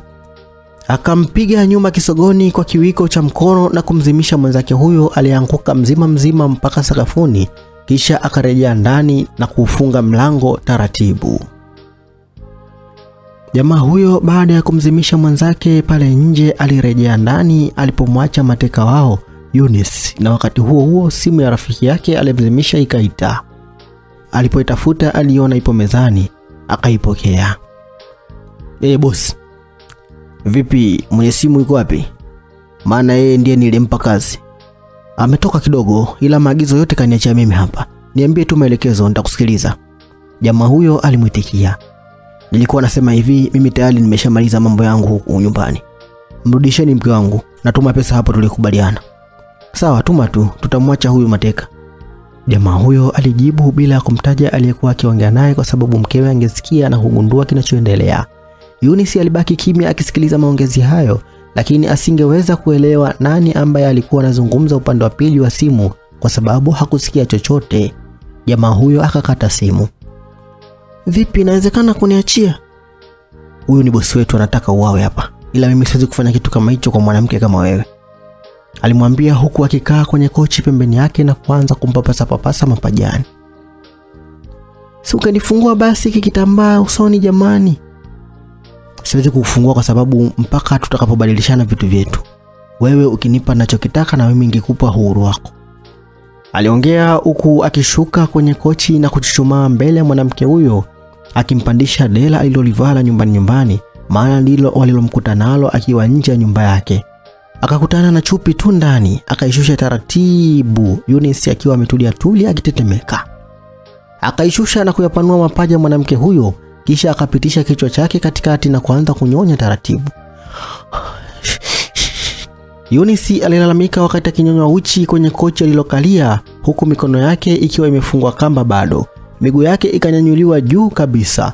Mwanamume huyo akaendelea kumnyonya, akamwinua na kumbinua kabisa, akimtegesha matako, akiageuzia kwake na kuyapanua. Akaendelea kunyonya ucho mwanamke huyo huku akishusha suruali yake taratibu na kumshika jogo wake. Mguu mmoja wa yunisi ukapandishwa kwa juu kwenye sofa na kamba ikafunguliwa mikononi mwake. Jamaa huyo akamchomeka jogo wake taratibu kwenye ucho mwanamke huyo aliyezibwa macho na kitambaa usoni, ambaye aligeuka akiachama mdomo wakati jogoo wa mtekaji wake akizama kwenye uchi wake. Kwa upande wa pili nyumbani, Benson alikuwa akiitazama simu yake, giza likiwa limeshaingia na mkewe bado hajarudishwa nyumbani kama alivyokubaliana na aliwapa kazi ya kumteka ili mradi tu yeye apate nafasi ya kupewa mambo matamu ya kitandani na mwanamke mwaneke, dada wa kazi. Mbona hawamrudishi unisi wa watu? Nini kinachoendelea? Alijiuliza mwenyewe, na wakati huo huo mwaneke aliingia chumbani akiwa na trei yenye sahani ya chakula na juisi ya matunda kwenye glasi. Bebi, karibu chakula. Alimwekea kwenye stuli taratibu, huku akimkalia mapajani. Asante, alijibu kwa sauti ya chini. Mbona unaonekana kama haupo sawa Ben jamani? Amna, nipo sawa. Hapana, ukiwa sawa na kujua na usipokuwa sawa na kujua. Kwani saa ngapi saa hizi? Saa moja na nusu inaelekea saa mbili usiku. Kwa nini? Yunisi hajarudi mpaka sasa. Kwani si wewe ndio uliwapa kazi au? Lakini tulikubaliana jioni kabla ya giza lijaingia wamrudishe nyumbani, lakini mpaka sasa hizi hawajamrudisha na simu zao hazipatikani. Kwani akilala huko akimrudisha asubuhi kuna nini? Ili iweje? Wewe unachukulia rahisi rahisi eh? Yule ni mke wangu, ni mke wangu mimi. Benson uso ulimbadilika. Du, kwa hiyo unakasirika kisa mkeo sio? Sawa, mimi sitambala hapa. Mimi si mdoli. Tutaona. Usinitafute wala kunisogelea. Mwaneke aliongea kwa hasira, akiinuka kutaka kuondoka, lakini mwanamume huyo akamshika mkono kumzuia. Unaenda wapi sasa? Niachie Beni, niachie mkono wangu. Mwaneke aliongea kwa hasira. Benson akainuka, lakini akasukumwa kwa nguvu, akajikuta akiangukia sakafuni pembezoni mwa kitanda mzima mzima mpaka chini. Akawangukia mkono mmoja na mwingine akajishikilia kitandani. Mwane alitoa macho akimshangaa msichana huyo ambaye alitoka chumbani humo kwa hasira na kubamiza mlango kwa nguvu. Oh, ui. Eunice alipiga mayowe akiwa amefungwa kitambaa usoni wakati akishughulikiwa na mmoja wa watekaji wale wawili ambao hakujua kwa nini wamemteka nyara na kumleta huko kusipojulikana. Oh, nipe, nipe. Jamaa huyo mrefu aliongea akiwa amemshikilia kwa nyuma wakiwa kwenye kochi kubwa la watu watatu. Yeye amesimama na Eunice yupo juu ya kochi, mguu mmoja wa kulia ukiwa umenyanyuliwa juu akisuguliwa ipasavyo. Wakati huo dera lilikuwa limekunjwa kiunoni na yeye amekunjwa ipasavyo, na ndipo kitambaa alichofungwa machoni kikafunguliwa na kutupwa pembeni. Akawa anaona. Alipogeuka kumtazama mtekaji wake, akakuta tayari ameshajifunga kitambaa kininja usoni ili asijulikane. Alikuwa ni mwanamume mrefu mweusi ti amejazia, akiwa na t-shirt tu kwa juu na chini alishavua kila kitu. Jogo wake mrefu alikuwa amezama nusu tu kwenye uchi wake. Natamani ni kuone mbona umejiziba uso baada ya kunitoa mimi? Mm. Hawezi, hawezi kuniona wewe. Tulia tutumalize ni kuruhusu uondoke. Kwani una wasiwasi gani mwanamke? Amna, sio wasiwasi, lakini oh, uh.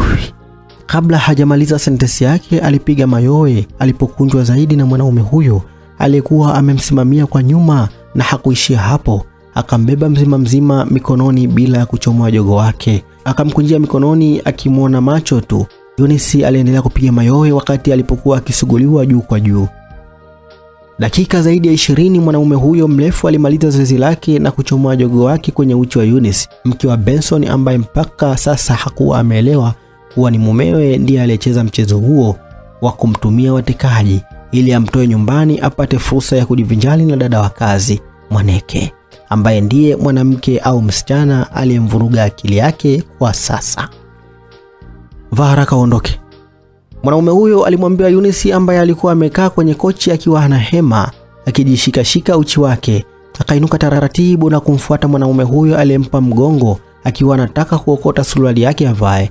Akamwahi na kumshika jogo wake mrefu aliyekuwa amesimama amepinda kichwa ikitazama kwa juu. Kwani nina haraka gani? alimwambia kwa sauti ya chini ya mahaba huku akiwa amemshikashika jogo huyo. Yunisi akiwa ameuelewa mchezo kutoka kwa mtekaji huyo, akamvuta mikono na kumsukumia kwenye kochi. Jamaa huyo aliziba uso wake akafikia kukaa kitako akiwa na t-shirt tu kwa juu, chini akiwa hajavaa kitu chochote. Yunisi akavua dera lake na kulitupia chini, akibaki uchi kama alivyozaliwa na kumfuata mwanamume huyo akamvua tisheti yake aliyoivaa. Wote wakabaki uchi, kisha akapanda juu na kumkalia tena kwenye jogo wake mrefu aliyesimama kwa kupinda, akiwa amejaa misuli iliyojichorachora. Akamshika taratibu wakati akizama kwenye uchi wake, huku akilalamika na kugunaguna. Mwanamume huyo akamshikilia kiuno na safari ya kupeana raha ikaanza tena. Mkono wa Eunice ukitaka kufungua kitambaa alichojifunga mwanamume huyo, lakini mwenyewe alizuia, hakutaka ajulikane. Hush. Oh. Jamaa aliguna wakati akimsugua mwanamke huyo mateka wao kwa kasi. Oh, jamani, aish, mm, hapa kule, aish. Yunisi naye alilalamika akirukaruka juu ya jogoo aliyezama ndani ya uchi wake. Mara wakasikia kikohozi nje. Yule jamaa alizimishwa na mwenzake, ikionekana anaamka. Imetosha, inuka, vaa haraka, uondoke haraka hapa. Jamaa alimchomoa Eunice juu ya jogo wake, naye akainuka haraka haraka. Mwanamke huyo akachukua dera lake na kuvaa chupi, akaisahau. Mwanaume huyo akachukua karatasi na karamu vilivyokuwa mezani na kumwandikia namba yake ya simu.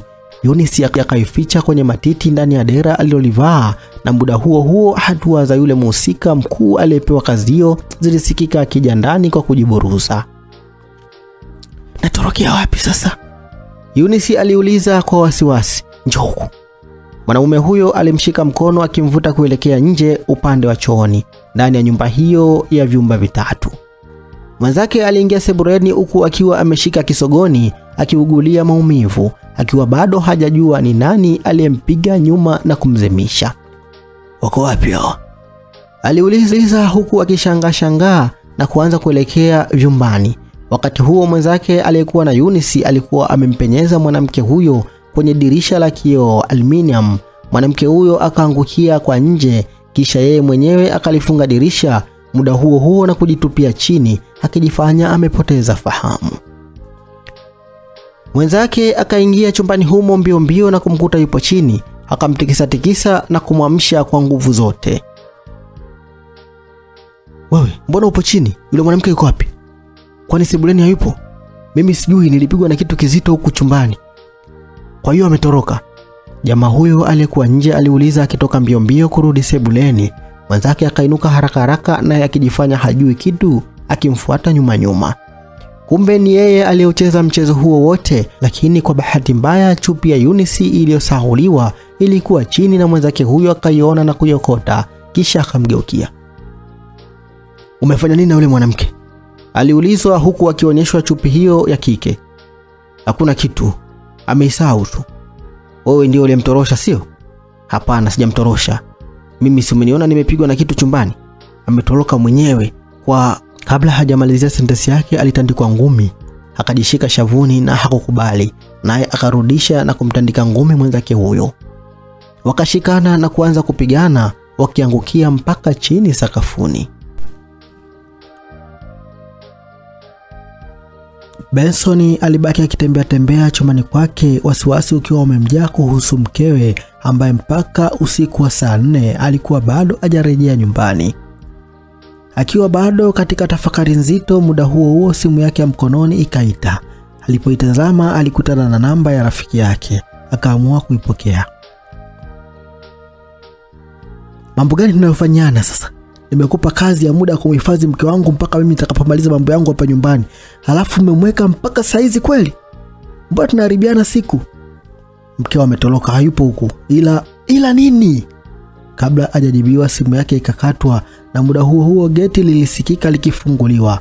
Akachungulia dirishani na kumwona mkewe akiingia getini akiwa ameshuka kwenye bodaboda. Ikabidi Benson atoke mbio mbio na kwenda kumpokea mkewe ambaye alikuwa anaangua kilio. Mke wangu, mume wangu, ningekufa mie, ningekufa nakwambia. Pole sana mke wangu Yunis, nilikuwa nahangaika sana kuhusu wewe leo, mpaka muda huu sijalala kabisa. Ulikuwa wapi? alimuuliza huku akimlipa dereva bodaboda aliyekuja naye. Sijakosea chochote kile, sijui kwa nini wameniteka mume wangu, sijui. Pole mke wangu, binadamu ni wabaya sana, yani hawafai hata kidogo.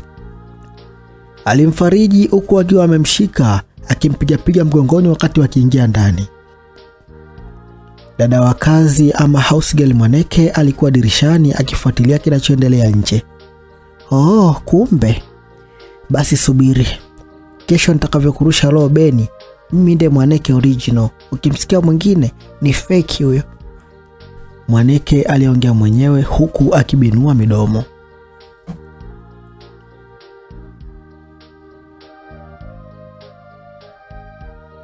Kulikucha mapema asubuhi leo, ikiwa ni siku ya mapumziko. Kama ilivyo kawaida, Eunice hajuagi kuamka mapema, yeye ni kulala mpaka usingizi ukate wenyewe. Na Benson naye alichelewa kuamka, aliamka saa mbili na kutoka akielekea sebuleni. Alipopita jikoni hakumwona Mwaneke, alipoelekea sebuleni hakumwona msichana huyo.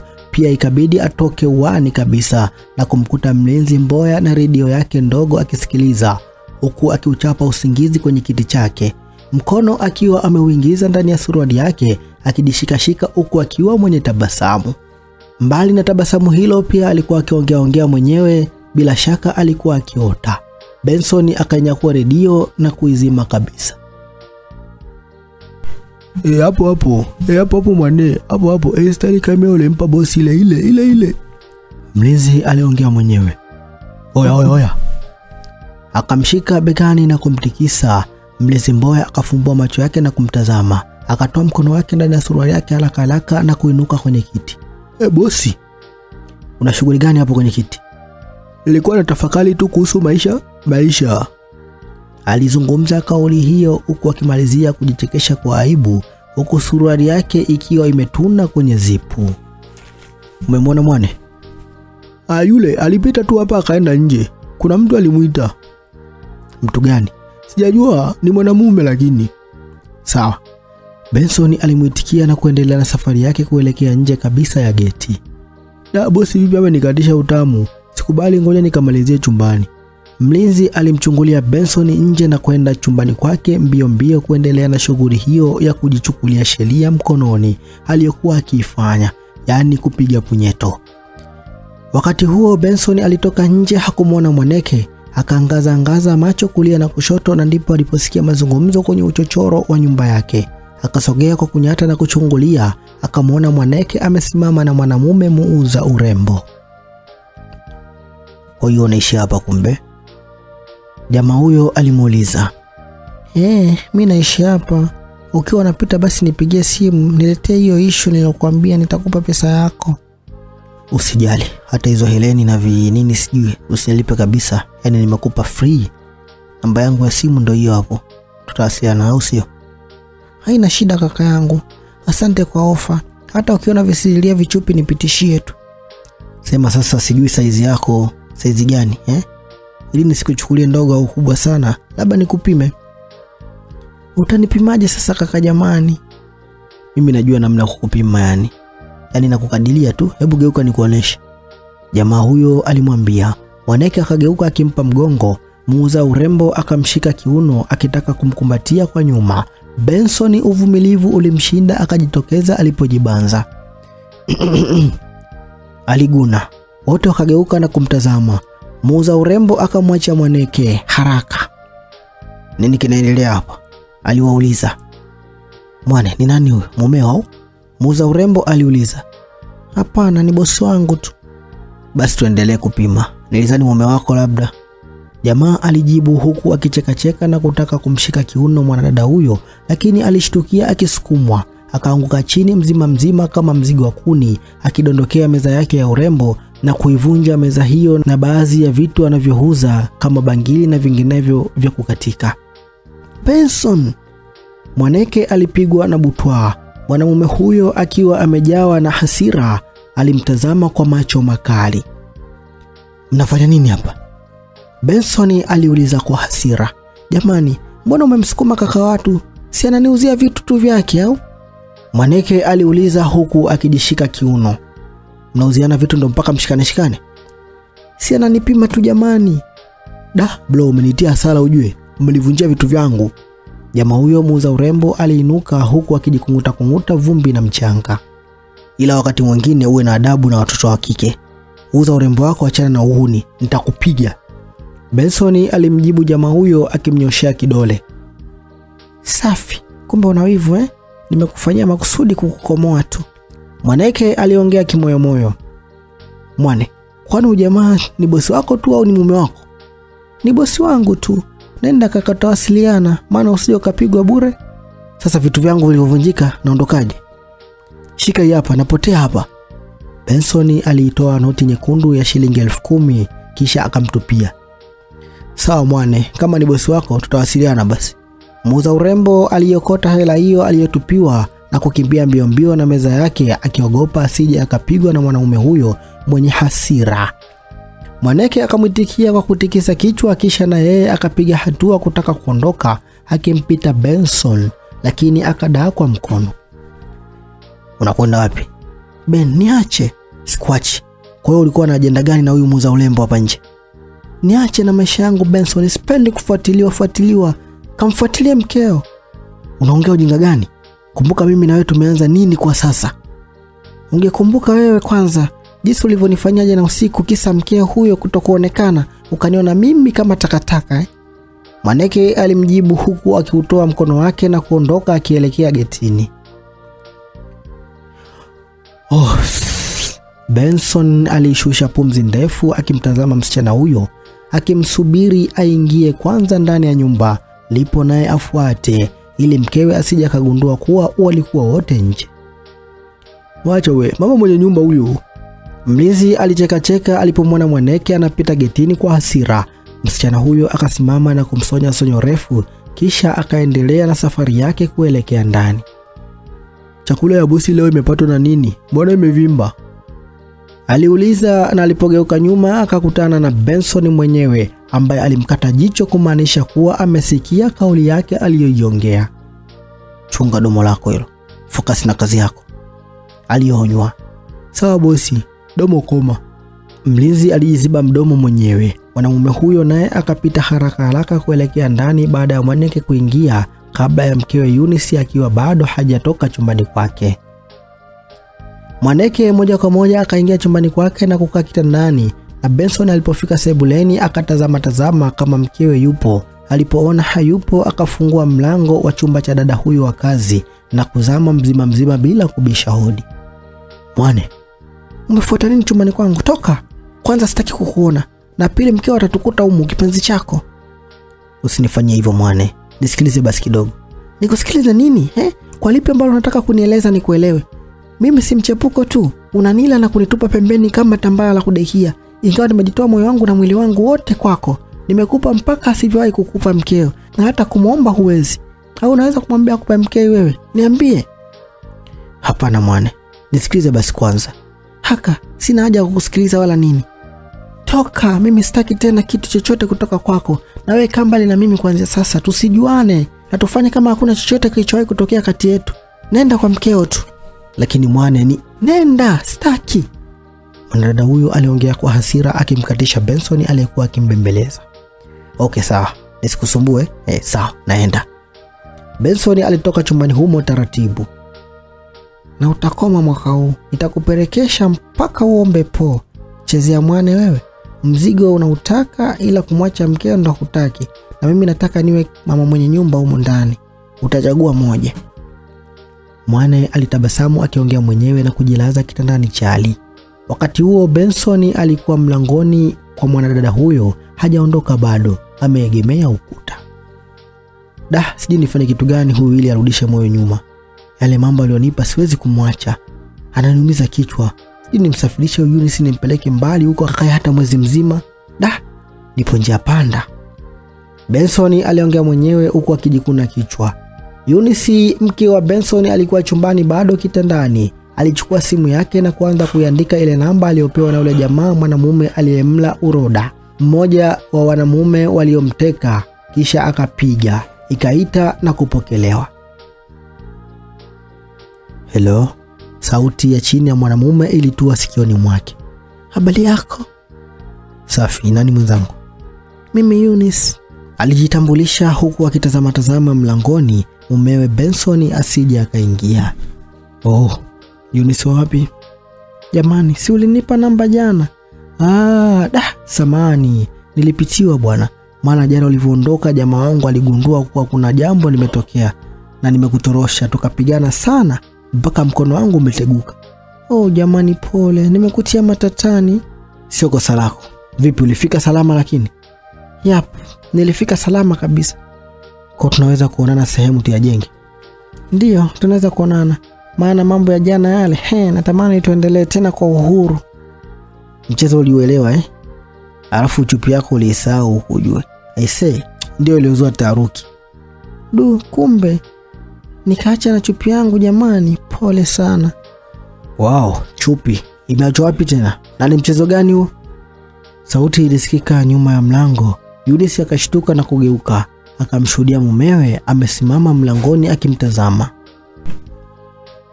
Yunisi alakalaka akawahi kuikata simu hiyo. Oh, mume wangu, vipi, ulienda wapi? Yunisi alizuga kupotezea mada. Hujanijibu swali langu bado. Hiyo chupi umeiacha wapi na mchezo gani huo? Hamna, kuna shoga yangu hapa, tulikuwa tunataniana tu. Hebu nimsalimie kidogo shoga yako alikuwa anaongea naye. Alimsogelea akiomba simu hiyo. Mm, Benson na wewe atakushangaa bwana. Mbona huniulizi habari za jana nilivyotekwa? Aisee, nilipona wamezubazubaa tu, nikachomoka na kutoroka, nikawapiga huyo, nikaenda zangu mpaka nimefika hapa. Tutaongea tu baadaye, lakini kwanza nipe simu hiyo niongee na huyo shoga yako uliokuwa unazungumza naye. Jamani, mume wangu, mbona unakuwa hivyo? Lete simu. Alinyang'anywa kwa nguvu. yunisi akashuka kitandani na kutaka kumpora mumewe simu yake hiyo ili airudishe mikononi mwake, akiogopa asije akajulikana namba yule jamaa isije ikapigwa kweli, maana ndiyo simu ya mwisho aliyopiga kwenye historia ya simu yake, yani call log. Aliogopa na mengine yaliyojificha yasije yakajulikana. Katika kunyang'anyana huko, simu hiyo ikaanguka na mfuniko ukatoka. Betri lililuka kivyake na simu kivyake. Unaona sasa, mpaka umeniharibia simu yangu. Wewe vipi? Yunisi alikuwa mkali kwa mumewe. Ujinga wako ndio uliosababisha ianguke. Tangu lini tumeanza kushikiana simu Benson? Mimi na wewe, nani anashikaga simu ya mwenzake kama sio wewe? Shika yangu hii, chunguza kama kuna ujinga ujinga humu, chunguza. Benson aliongea kwa ukali, ndipo alipokumbuka kwamba kuna meseji alizowahi kuwasiliana na dada wa kazi Mwaneke, hakuzifuta. Haraka akairudisha simu yake mfukoni na kupotezea. Na ni kweli aliyekuwa na tabia ya kuchunguza chunguza simu ya mwenzake ni Eunice. Una wasiwasi sana, na ndio maana unasumbua na mawivu yako ya kijinga. Ndio maana ukienda kazini tunapumua hapa nyumbani. Unapumua wewe na nani kama sio peke yako? Kama watoto wapo shuleni bodi. Ndio maana hata mimi nikienda kazini napata auheni. Mwanamke gani unalala mpaka umalize usingizi? Hujui hata kumwandaa mumeo aende kazini. Kitandani kama gogo tu mpaka usukume sukume, ufanyi kazi yote humu ndani. Kazi zote unamwachia usigeri, mpaka kupika usigeri, kufua usigeri, kila kitu usigeri. Kati ya wanawake wewe ni mke, basi ni mama tu wa watoto tu. Na kabla Benson hajamaliza sentensi yake, alitandikwa kofi la shavuni. Umeamua kunidhalilisha Ben, eti? Naongea kweli, kama unataka kunipiga nipige. Shavu la kulia hili hapa, umenipiga la kushoto, namalizia hili hapa la kulia. Aliongea akimgeuzia shavu nyingine. Sawa, kama vipi moyo basi huyo usigeli wako.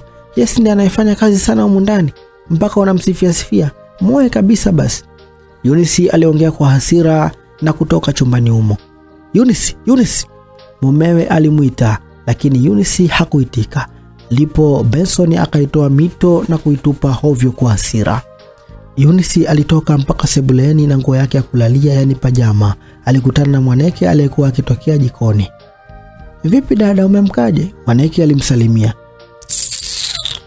Badala ya kujibiwa salamu, alisonywa na sonyo refu na mwanamke huyo akaendelea na safari yake kuelekea nje. Makubwa kimeshanuka umo chumbani inaonekana. Dada huyo wa kazi aliguna huku akitabasamu. Yunisi akatoka moja kwa moja mpaka uani, akaelekea mpaka getini na kumkuta mlinzi amekaa kwenye kiti chake akizungusha zungusha fimbo yake. Bosi, mbona mbio mbio, kuna usalama kweli? Hayakuhusu. Mlinzi alijibiwa na mwanamke huyo, akafungua geti dogo na kutoka huku akilibamiza. Kulikoni tena humo ndani? Kuna usalama kweli? Kama huyu mwanamke hata kwa amegundua kinachoendelea kati ya mumewe na yule Mwaneke, basi nitafurahi sana yani. Mlinzi alitabasamu huku akipiga mruzi na kukaa tena kwenye kiti chake. Yunisi aliyetoka nje aliunganisha simu yake iliyobomoka na kuiwasha tena kwa tabu, kisha akaipiga. Eunice my love, maajabu kunipigia wewe leo. Kuna nini tena? Usalama upo? Sauti nzito ya mwanamume ilisikika upande wa pili wa simu hiyo. Njoo nichukue hapa karibu na kwangu, mtaa wa nyuma. Oh, sawa, nakuja. Nipe dakika kumi. Kuna shida gani? Nimekwambia njoo. Yunisi alijibu na kukata simu huku akihema kwa hasira na mguu wake wa kulia akiutikisa tikisa.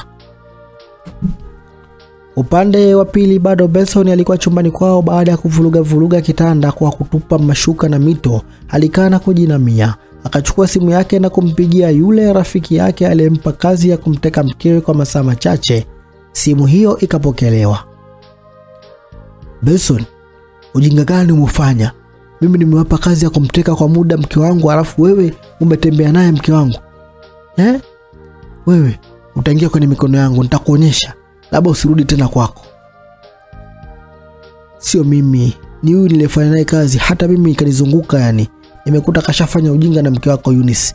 Mimi nisingeweza kufanya hivyo mpaka tumepigana, yani kwa kweli nimeachana naye na anaonekana bado anawasiliana na mkeo yani.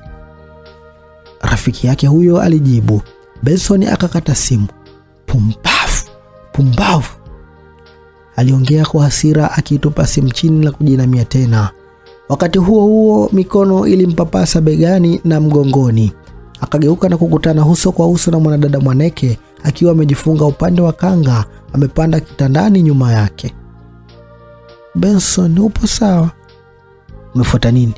Nimekuja kukuona wewe. Vipi, nimekosea?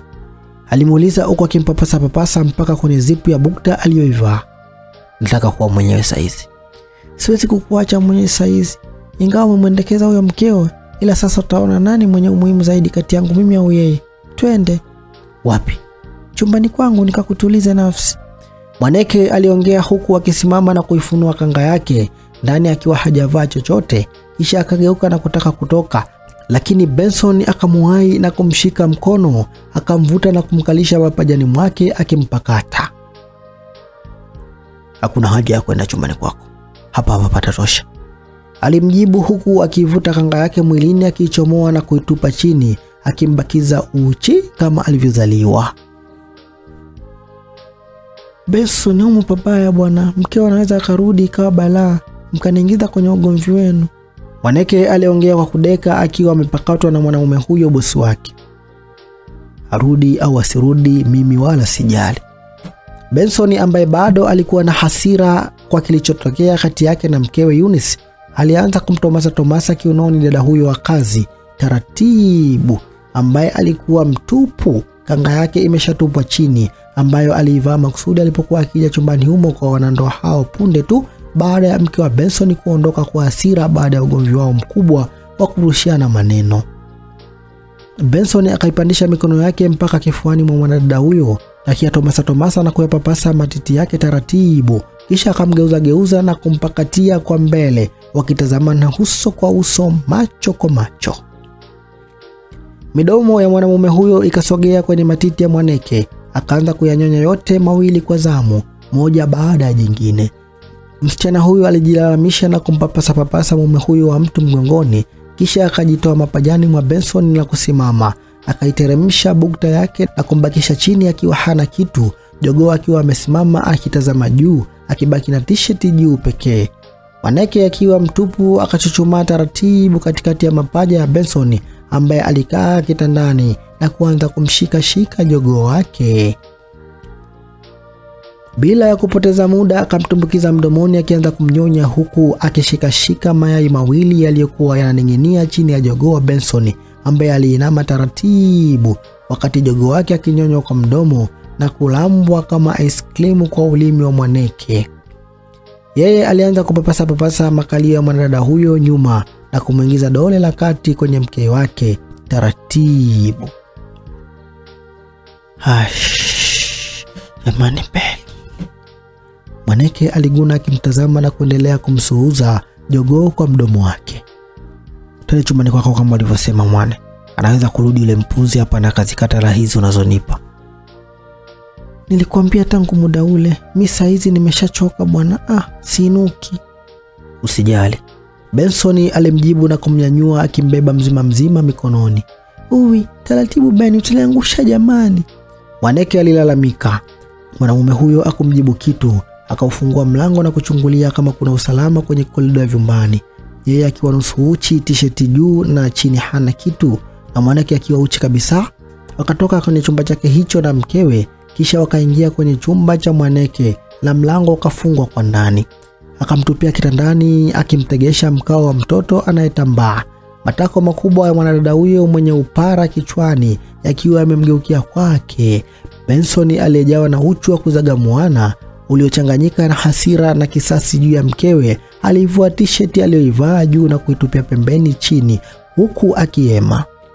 Wakati huo Mwaneke akiwa kitandani aliuvuta mto akiulalia kifuani na kubinua kidogo kiuno chake akiyapanua zaidi matako yake makubwa mbele ya mwanaume huyo, huku akilitingisha moja moja na kuyarusha yote kwa pamoja, akimwita haje achomeke jogo wake popote pale anapopataka, iwe kwenye mkei au kwenye uchi.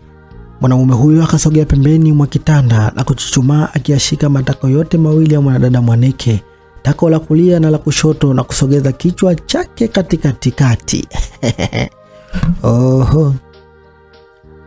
Mwanamume huyo akasogea pembeni mwa kitanda na kuchuchumaa akiashika matako yote mawili ya mwanadada Mwaneke, tako la kulia na la kushoto, na kusogeza kichwa chake katikati, akianza kunyonya mkei wa msichana huyo taratibu, ikimaanisha ndio anaotaka aanze nao kufukunyua, na ndicho kinachompagawisha zaidi kutoka katika mwili wa Mwaneke. Abeni Beni jamani, unataka uninanilie?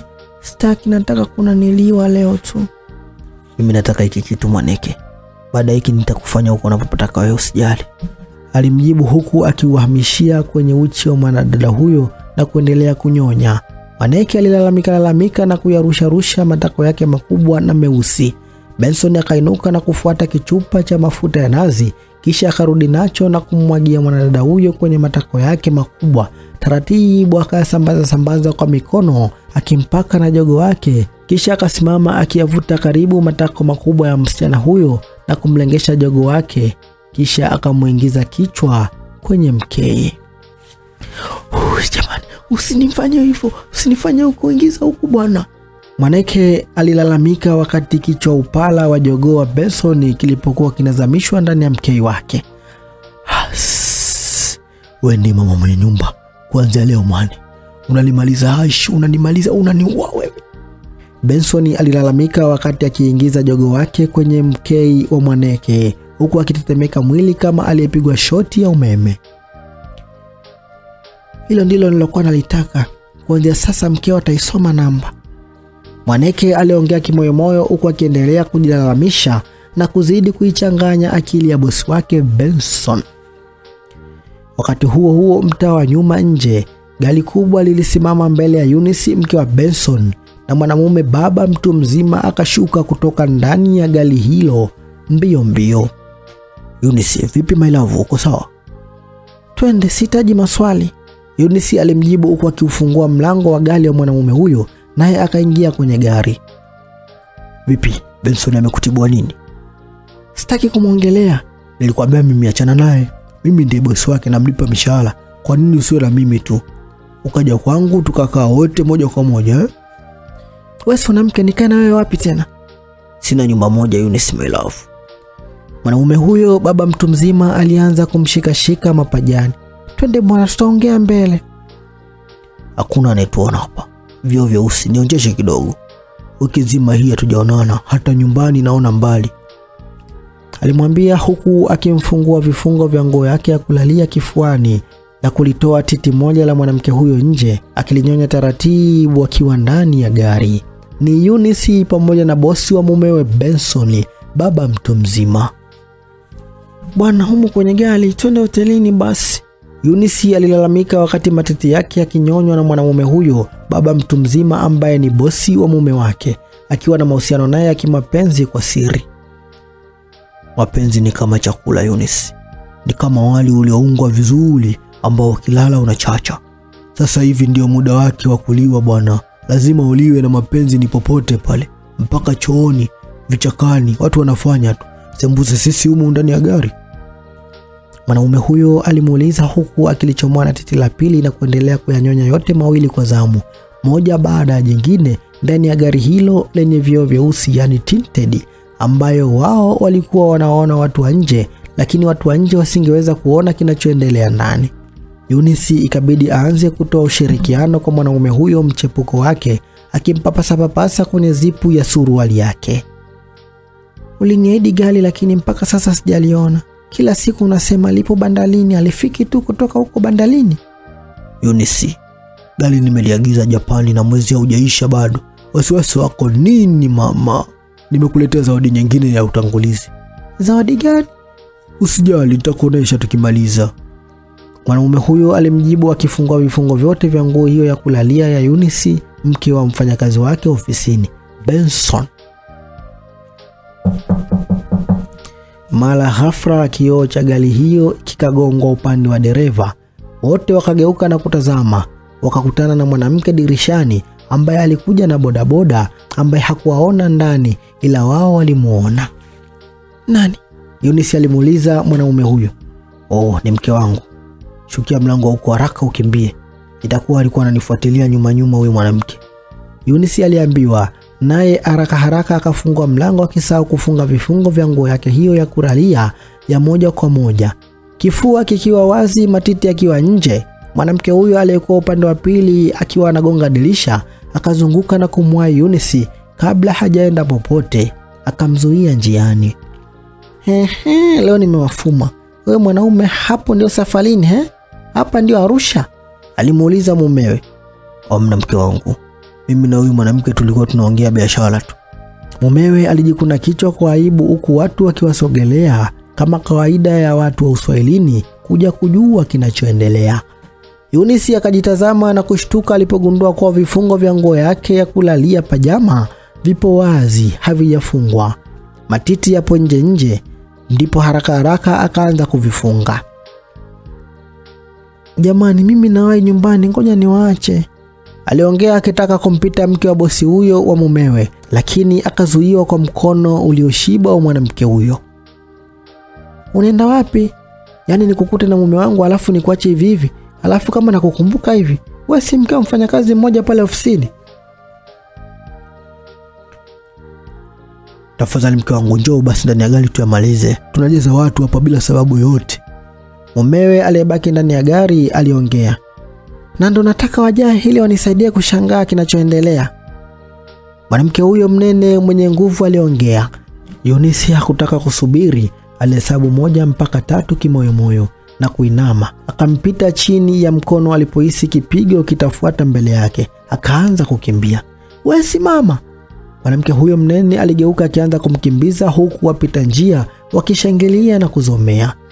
Eunice alitazama nyuma wakati akikimbia na kumwona mbaya wake bado akimkimbiza, lakini kwa bahati mbaya mtandio wa mwanamama huyo, mke wa bosi wa mumewe, aliyojifunga kibwebwe kiunoni, ishara ya kutangaza vita, ulifunguka akaukanyaga na kujikwaa, akaanguka mzima mzima kama gunia la kilo mia la mahindi.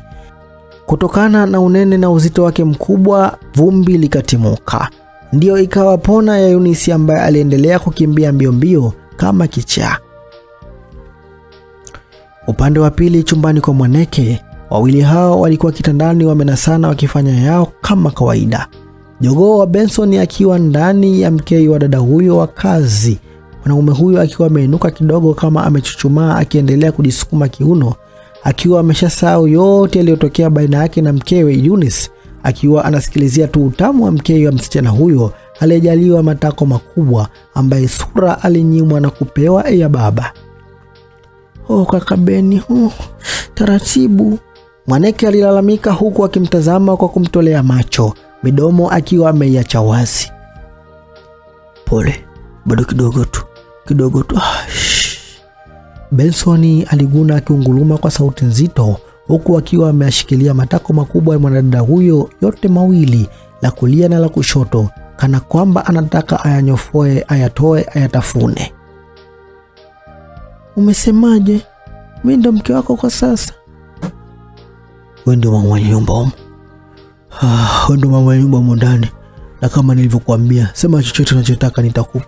Chochote humu ndani ni chako. Ah,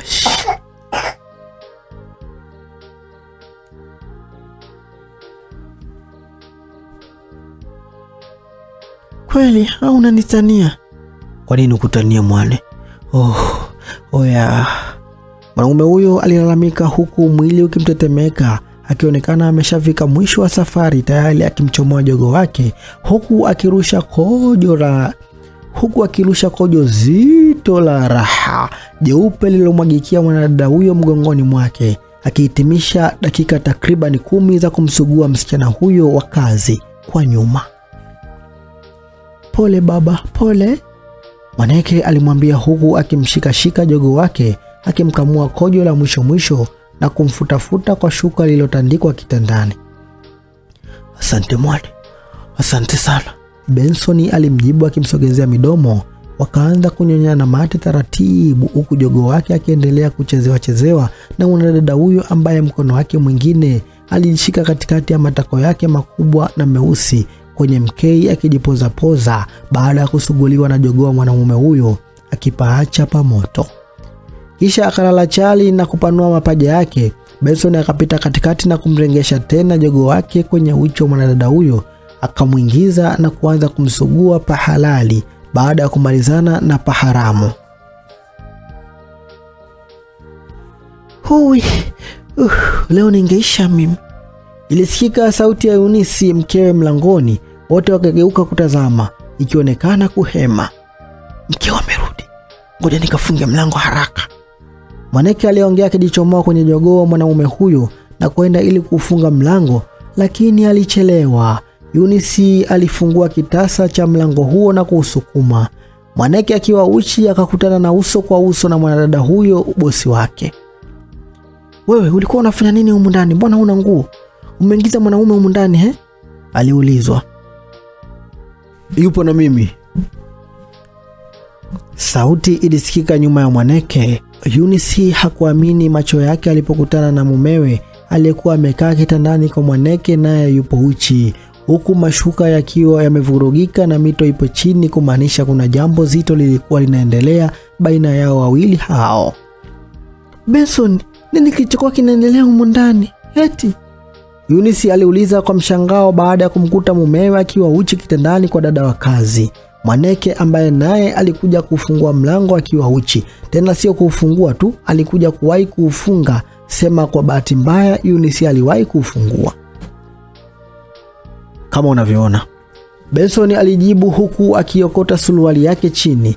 Macho ya mkewe yakahama kutoka kwa mwanaume huyo na kurudi kwa mwanamke mwenzake, yaani Mwaneke ambaye alishasoma macho ya mgoni wake huyo kwamba lazima atampiga. Mwaneke akajisogeza na kuusukuma mlango, akamsukuma na Yunis kwa nje, ambaye aliandaa ngumi nzito ili amtandike nayo usoni. fungueni mlango wenye maraya nyinyi, ndio maana unamtetetea huyo usigeli, utaki aondoke huku ndani eh? Kumbe mnakulana. Fungua mlango leo. Benson, leo utanitambua wewe, na wewe mwanamke, leo utanitambua. Nakwambia vizuri, utanitambua leo. Aliongea kwa hasira huku akigongagonga mlango kwa fujo, akikupiga mateke na ngumi mfululizo, akitaka kuvunja arudi ndani. Mwaneke akashusha pumzi na kumgeukia Benson. Uwi, kazi ipo leo. Tunafanyaje sasa Benson jamani? Nitakuja kuchomwa kisumia humu ndani, maana mkeo ndo ameshawaka hivyo, hakuna kumzima. Aliongea kwa wasiwasi huku akitafuta nguo ya kuvaa.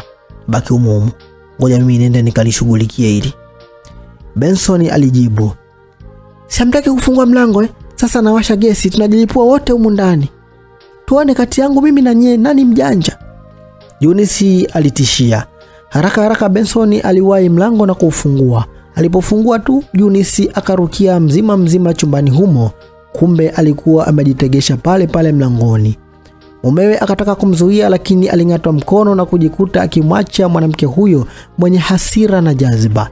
Akamfuata mbaya wake Mwaneke ambaye alikuwa amevaa gauni lake na kumrukia mzima mzima, wakiangukia chini sakafuni. Yunis, acha kumpiga, hacha, mwache. Benson alimshika mkewe akimvuta kutaka kumtoa kwa mwanamke huyo, lakini akasukumwa. Mwaneke naye akabaki chini amekamatwa ipasavyo, akibananishwa, safari hii akikosa pa kupumulia. Mkono wa mwanamke huyo mwenye nguvu kutokana na hasira ulikuwa umemkaba shingoni, macho yalimtoka akikosa pumzi. Beni, nisaidie. Beni ataniua. Alilalamika kwa sauti ya chini akishindwa kutoa sauti. Na ufe leo, mwanaharamu wewe, mwizi wa wanaume za watu wewe, Yunisi alimwambia. Mwaneke akauona mkono wa mwanamke huyo upo karibu na mdomo wake, akajitahidi kuung'ata meno mkononi kama vile alivyomng'ata mumewe. Yunisi akapiga mayoe ya maumivu na kumwacha msichana huyo ambaye hakulaza damu. Alimsukuma mwanamke huyo mzima mzima, akataka kuanguka chini, lakini mumewe aliyekuwa amesimama nyuma yake akamwahi na kumdaka mikononi. mwaneke akasimama huku akikohoa kutokana na kubanwa sana, akakimbilia sebuleni. Niache nimfuate, niachilie! Yunisi aliongea kwa hasira, akifurukuta mikononi mwa mumewe. Squatch, acha ujinga wako wewe mwenye. Mbona umelala na wale kukamata na mpaka saa hizi unawasiliana naye? Nimepata habari zako, sasa kinachokuuma ni nini? Mimi kufanya na Mwaneke eh? Kila mtu aishi maisha yake sasa. Benson alimwambia mkewe huyu akimshika kwa nguvu na kumsukumia kitandani. Ndio ulale na msichana wa kazi huyu mjinga mjinga asiye na mbele wala nyuma, si ungeenda kwa mwingine tu, hata kwa maraya huko nje. Yunisi aliongea kwa hasira huku akihema pale kitandani alipokarishwa, jasho likimmiminika. Kwako ndio hana maana na mjinga mjinga, ila kwangu mtamu zaidi ya asali, anayejua mambo aswa. Unasemaje wewe wa kuongea mambo kama hayo mbele yangu? Ulitaka niongee yapi? Labda kwa heri. Benson aliongea na kuanza kuondoka, akaufuata mlango. Mkewe akainuka kumkimbilia, lakini mwanaume huyo akamwahi na kuufunga mlango, akimfungia kwa ndani. Benson, unaenda wapi? Fungua mlango, nakwambia, fungua mlango. Yunisi alipiga makelele ndani. Mwanaume huyo akamfungia na ufunguo kabisa, kisha akatoka mpaka sebuleni na kwenda mpaka nje, akimkuta Mwaneke amesimama getini kwa mlinzi. Akamwita akielekea kwenye gari. Mwanadada huyo akamfuata mbio mbio. Sasa inakuwaje Benson, hujamfukuza mkeo?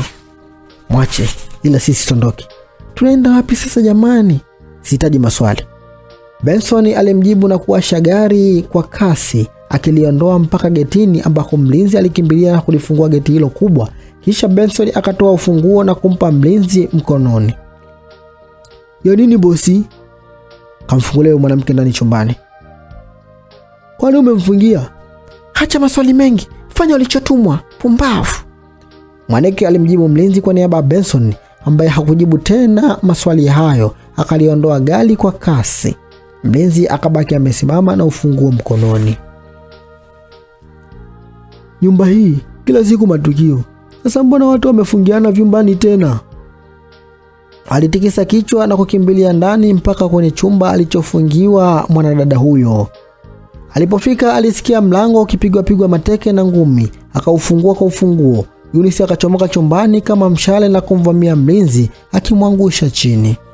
Wako wapi? Wako wapi Benson? Yuko wapi yule mwanamke? aliuliza kwa hasira.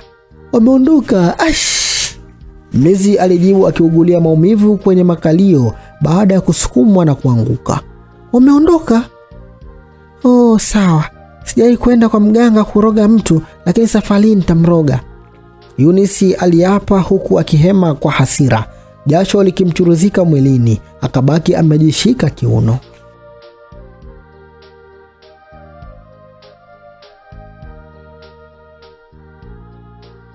Mkono ulimpapasa Benson ndani ya shuka mpaka kwenye jogo wake, akiwa amejifunika shuka tu, ndani hajavaa chochote, yani yupo huchi. Akafumbua macho na kukutana na mwanadada Mwaneke akimtazama kwa tabasamu. Mwane, umemkaje mpenzi? Salama kabisa. Saa ngapi saizi? Saa mbili na nusu asubuhi. Amka unywe chai bwana. Du, kumbe muda umeenda sana. He, kwa sababu jana ulichoka sana kwa sababu ya purukushani za kule kwako. Ni chai na nini? Hata sijui vikolokolo gani, mara chipsi, mala sijui nini. Sasa mie mgeni kwenye ya mambo, nimeona tu mhudumu ameleta kama ulivyomwagiza. Jana tulipolipia chumba tulilipia vyote. Nisogezea hapa hapa karibu, nitakunywa hapa hapa. Mkitandani kitandani si utachafua mashuka ya watu tena meupe, ila haina shida, nitayafua. Mwaneke alitabasamu.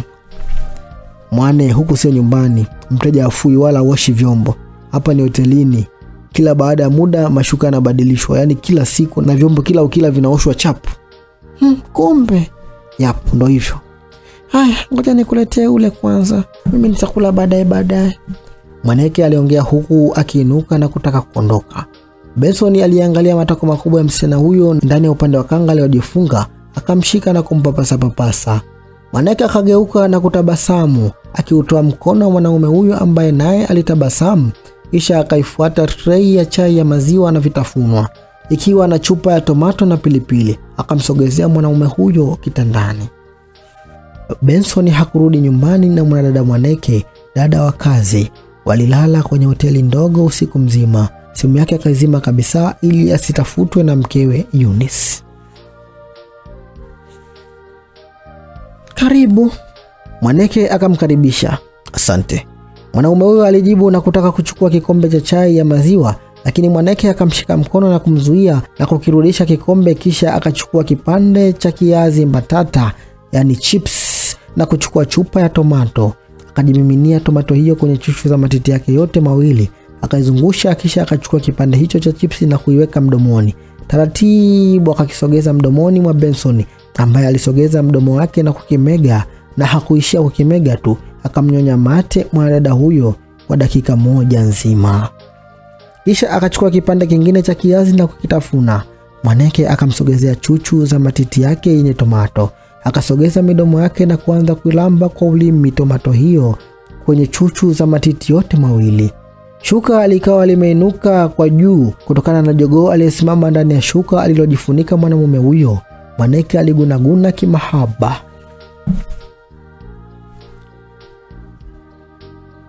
Yote hayo umeajulia wapi mwane? Benson alimuuliza. Nimeajua tu. Kuna mwanaume uliwahi kumfanyia hivi? Hamna, wewe ndio wa kwanza Beni.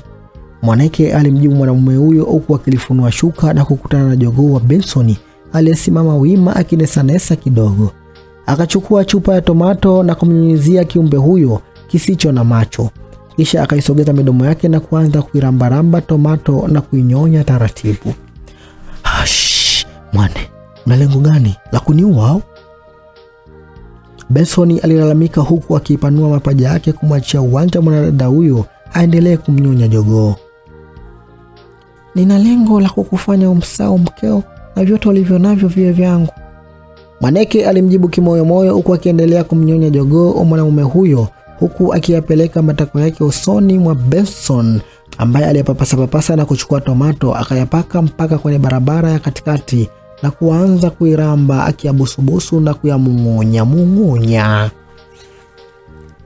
Upande mwingine nyumbani kwa Benson, mkewe Eunice alikuwa bado anatembea tembea sebuleni akiwa na hasira, huku ameshika simu yake mkononi ambayo kila alipompigia mumewe hakupatikana, na mdogo wa Benson, shemeji, akiwa amefika nyumbani hapo baada ya kuitwa. Vipi Shem, umempata Benson? Sijampata, inasema hapatikani. Kwani umemfanya nini kaka?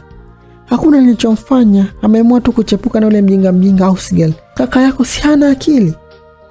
Kaka Beni hawezi kuwa na Ausgel mwenye sura ya baba hivi hivi tu, lazima kuna jambo limesababisha Shem. Shemejie alimwambia, kauli iliyomkasilisha Eunice, akamgeukia akimkata jicho. Kwa hiyo unachotaka kumaanisha kuwa mimi na kaka yako mimi ndo mbaya? Hapana, sijamaanisha hivyo Shem. Nilichomaanisha ni Toka, sitaki kukuona, toka. Lakini Shemni, Toka nyumbani kwangu. Yunisi aliongea kwa hasira akimkaripia kijana huyo ambaye aliondoka kwa hofu baada ya kumwona mke wa kaka yake amekuwa mkali. Akamwacha mwenyewe sebuleni. Yunisi akajitupa kwenye kochi na kisha akainuka tena na kwenda chumbani kwa msichana Mwaneke. Akatoa nguo za mwanadada huyo, begi zima na kibeliti, kisha akazipeleka nje, mlinzi akishuhudia. Akawasha njiti ya kibiriti na kuzichoma nguo hizo zilizoanza kuteketea huku akitabasamu. Utakaporudi huko ulipo utafurahi na roho yako. Nadhani na bado wewe mwenyewe nikikushika na kuchoma kisu. Yunisi aliapa wakati akitazama nguo za mwanadada huyo wa kazi zilipokuwa zikiteketea kwa moto aliyouashia. Mwanamke huyo akakumbuka kitu na kurudi ndani taratibu huku akitabasamu. Yesi anajifanya mjanja mjanja sana. Basi leo nitamwonyesha mimi ni nani. Akae na huyo malaya wake huko huko. Hati ya nyumba anaificha na siku tatu zikipita hajarudi nyumbani naipiga bei. Yunisi aliongea mwenyewe akiingia chumbani kwao na kwenda moja kwa moja kwenye kabati lao la nguo ambamo ndimo ilipohifadhiwa hati ya nyumba. Kwenye draw moja alipofungua akakutana na bahasha tu yenye hati hiyo. lakini hati yenyewe haikuwemo ndani. Akaanza kupekua kila mahali akitafuta, lakini bila mafanikio. Chumba kizima alikivuruga vuruga kila kitu, lakini hakuiona. Na maana huyu mwanaume ameondoka na hati yetu ya nyumba, kuifanyia nini? Alijiuliza bila ya kupata jibu.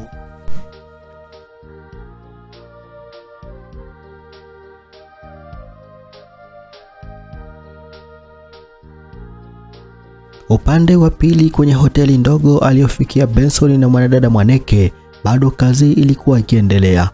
Chumbani asubuhi asubuhi, juu ya kitanda kati ya wawili hao, kama kawaida yake, Benson aliyefundishwa mchezo huo mchafu na mwanadada huyo alikuwa amepanda kwa nyuma akimsugua mwanadada huyo paharamu na sio pahalali, jogo wake akiwa amezama kwenye mkei wa msichana huyo ambaye mashallah, pamoja na kunyimwa sura yake ya kike ila matako alikuwa nayo. Alikuwa akiyatingisha tingisha na kuyarusharusha ipasavyo, wakati ukuni wa mwanaume huyo ukiwa umechomekwa kwenye mkei wake. Ben, jamani, uwi we baba we, nisamee mie, nisamee. Alipiga mayowe huku akimpanulia matako zaidi na kuzidi kumvuruga mwanamume huyo, mume wa mtu ambaye alikuwa amemshikilia huku akiema na kumchomoa jogo wake akiwa ameshafika kwenye kilele cha raha. Akarusha kojo lililomwagika mgongoni mwa dada huyo ambaye alilala kifudifudi, na Benson akamkalia kwa juu. Nakupenda mwane, nakupenda sana. Alimbusu mgongoni. Nakupenda pia Beni, na wewe unalijua hilo, alimwambia akimgeuza na kumweka chini mwanamume huyo. Wote wakawa huchi. Mwanadada huyo alitoka na kuifuata simu yake iliyokuwa inaita. Nani anayepiga? Benson alimuuliza huku akihema, akiwa kitandani amelala chali, hata chai hawakunywa. Mama, nyamaza, usizungumze. Mwaneke alimjibu na kuelekea chooni kuzungumza na mtu aliyempigia. Alipoingia akapokea. Mwane, sauti ya kiume ilimwita. Niambie Gonde. Safi, vipi kuhusu hati ya nyumba? Hawezi kuulizia hapo, jamaa kaweka saini haraka. Ndo nipo hapo naishughulikia. Hakikisha anatia saini basi, usipoteze muda. Mteja yupo tayari, nishampanga muda mrefu, tutampoteza. Sawa, haina shida, nalishughulikia sasa hivi. Usiniangushe. Mwanamume huyo alijibu na kukata simu. Mwane akashusha pumzi na kurejea chumbani alipomwacha Benson kitandani. Vipi, mama anasemaje? Anakusalimia sana. Mm, ananijua kwani au ndo namsingiziaga tu? Nimemwambia kidogo tu kuhusu wewe jamani. Mwane alijibu huku akitoa karatasi hiyo ya hati aliyoificha na kumfuata mwanaume huyo kitandani, kisha akasogeza midomo kwenye chuchu za matiti ya Benson na kuanza kuzinyoonya taratibu. Unanitekenya bwana Mwane, unanitekenya. Benson alichekacheka. Mm, we na wewe unachoshtuka nini sasa? Mbona vingine ukipewa shtuki? Sasa umeshasema vingine. Ehe, na hicho mkononi mwako ni nini? Si hati ya nyumba yako hii, kwani huijui? Hati ya nyumba yangu imefuata nini? Umeipataje? Nimechukua chumbani kwako. Mwaneke alijibu huku akiendelea kunyonya chuchu za matiti ya Benson huku mkono wake ukiwa umemshika jogoo mwanamume huyo akimchua taratibu. Umeichukua kwa nini? Ya nini? Hebu leta. Kwa hiyo unadhani mimi nataka nifanye nini? Niibe au? Hapana. Ila kwa nini umeichukua? Kwa sababu nilimsikia mkeo anataka aichukue akampe mwanaume wake mwingine. Sijadhaminiwe nini huko mwanaume huyo, akataka iweke bondi. Mpumbavu sana yule mwanamke, sijawahi kuona. Yaani akamdhamini hawala wake kwa hati ya nyumba yangu. Au nimekosea kuichukua? Wala hujakosea mrembo, umefanya vizuri kabisa. Yule mwanamke amekosa akili siku hizi. Basi mimi naona ungeiuza tu nyumba. Kuna mteja amepatikana, utie saini hapa kwenye karatasi, ama ununue nyingine au ujenge kwingine. Siwezi kuuza, nina watoto. Lakini wako shule Ben, mpaka warudi mwisho wa mwaka likizo. Sidhani kama utakuwa bado hujanunua nyumba nyingine. Ukizubaa, mkeo amesharishwa sumu tayari, anaweza kuiuza ile nyumba wakati wowote. Usitegemee kupata chochote pindi atakapouza, kwa sababu mwanamume aliye naye hamjui ana akili gani na kwa nini anaitamani sana ile nyumba na anampa nini huko mpaka anaivuruga akili yake. Alimbembeleza bembeleza huku akichezea chezea nyanya zake mbili mwanamume huyo taratibu, akiendelea kumshika jogoo aliyekuwa amesimama bado akitazama juu, huku ncha ya ulimi wake ikichezea chezea kwenye chuchu za matiti ya mwanamume huyo. Ni kweli ah, nitunzie tu hapa hiyo hati, nitaisaini baadaye. Benson aliguna kutokana na mitekenyo ya mwanadada huyo kifuani kwake kwenye matiti yake. Saini sasa hivi bwana, kuna kitu kizuri nataka nikupe. Waneke aliongea huku akijishikashika katikati ya mapaja yake kwenye uchi, akipanda kabisa juu ya kiuno cha mwanaume huyo na kumkalia huku akimpapasa papasa jogo wake taratibu, akiwa ameishika karatasi ya hati ya nyumba hiyo. Sawa. Benson aliipokea karatasi hiyo na karamu, kisha akatia saini yake taratibu na kumrudishia. Hatimaye umeshaipoteza nyumba yako mikononi mwako Benson. Mwaneke aliongea kimoyomoyo huku akitabasamu na kuinuka kidogo, akamkalia jogoo mwanamume huyo akimwingiza kwenye uchi wake huku akijilalamisha kimahaba. Eh, nipe mwale nipe. bensoni Benson alilalamika wakati akiwa amekaliwa na mwanadada Mwaneke kwa juu, akipewa huduma ya pili asubuhi asubuhi kabla hata ya kunywa chai, baada tu ya kutia saini yake kwenye hati ya nyumba bila kujua kwa kitendo chake cha utiaji saini tayari kaiuza nyumba, kwa sababu hata hakusoma kilichoandikwa kwa sababu ya kuzidiwa na mahaba kutoka kwa mwanadada huyo ambaye naye alipewa kazi na mwanamume wake wa muda mrefu akishauriwa afanye jambo hilo ili wapate pesa wagawane na kuendeleza maisha yao.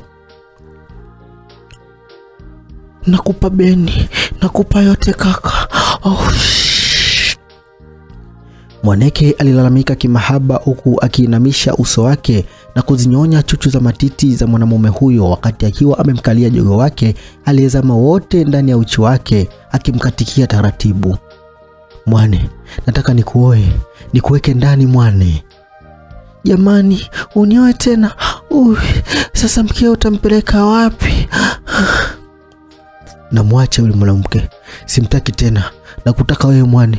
Oh jamani, oh yeah, oh yes, oh yeah. Benson alitoa macho akishindwa kumalizia sentensi yake na kushusha pumzi akifika mwisho wa safari yake akiwa amekishikilia kiuno cha mwanadada huyo kwa nguvu huku akihema. Pole mme wangu, pole, unywe chai sasa.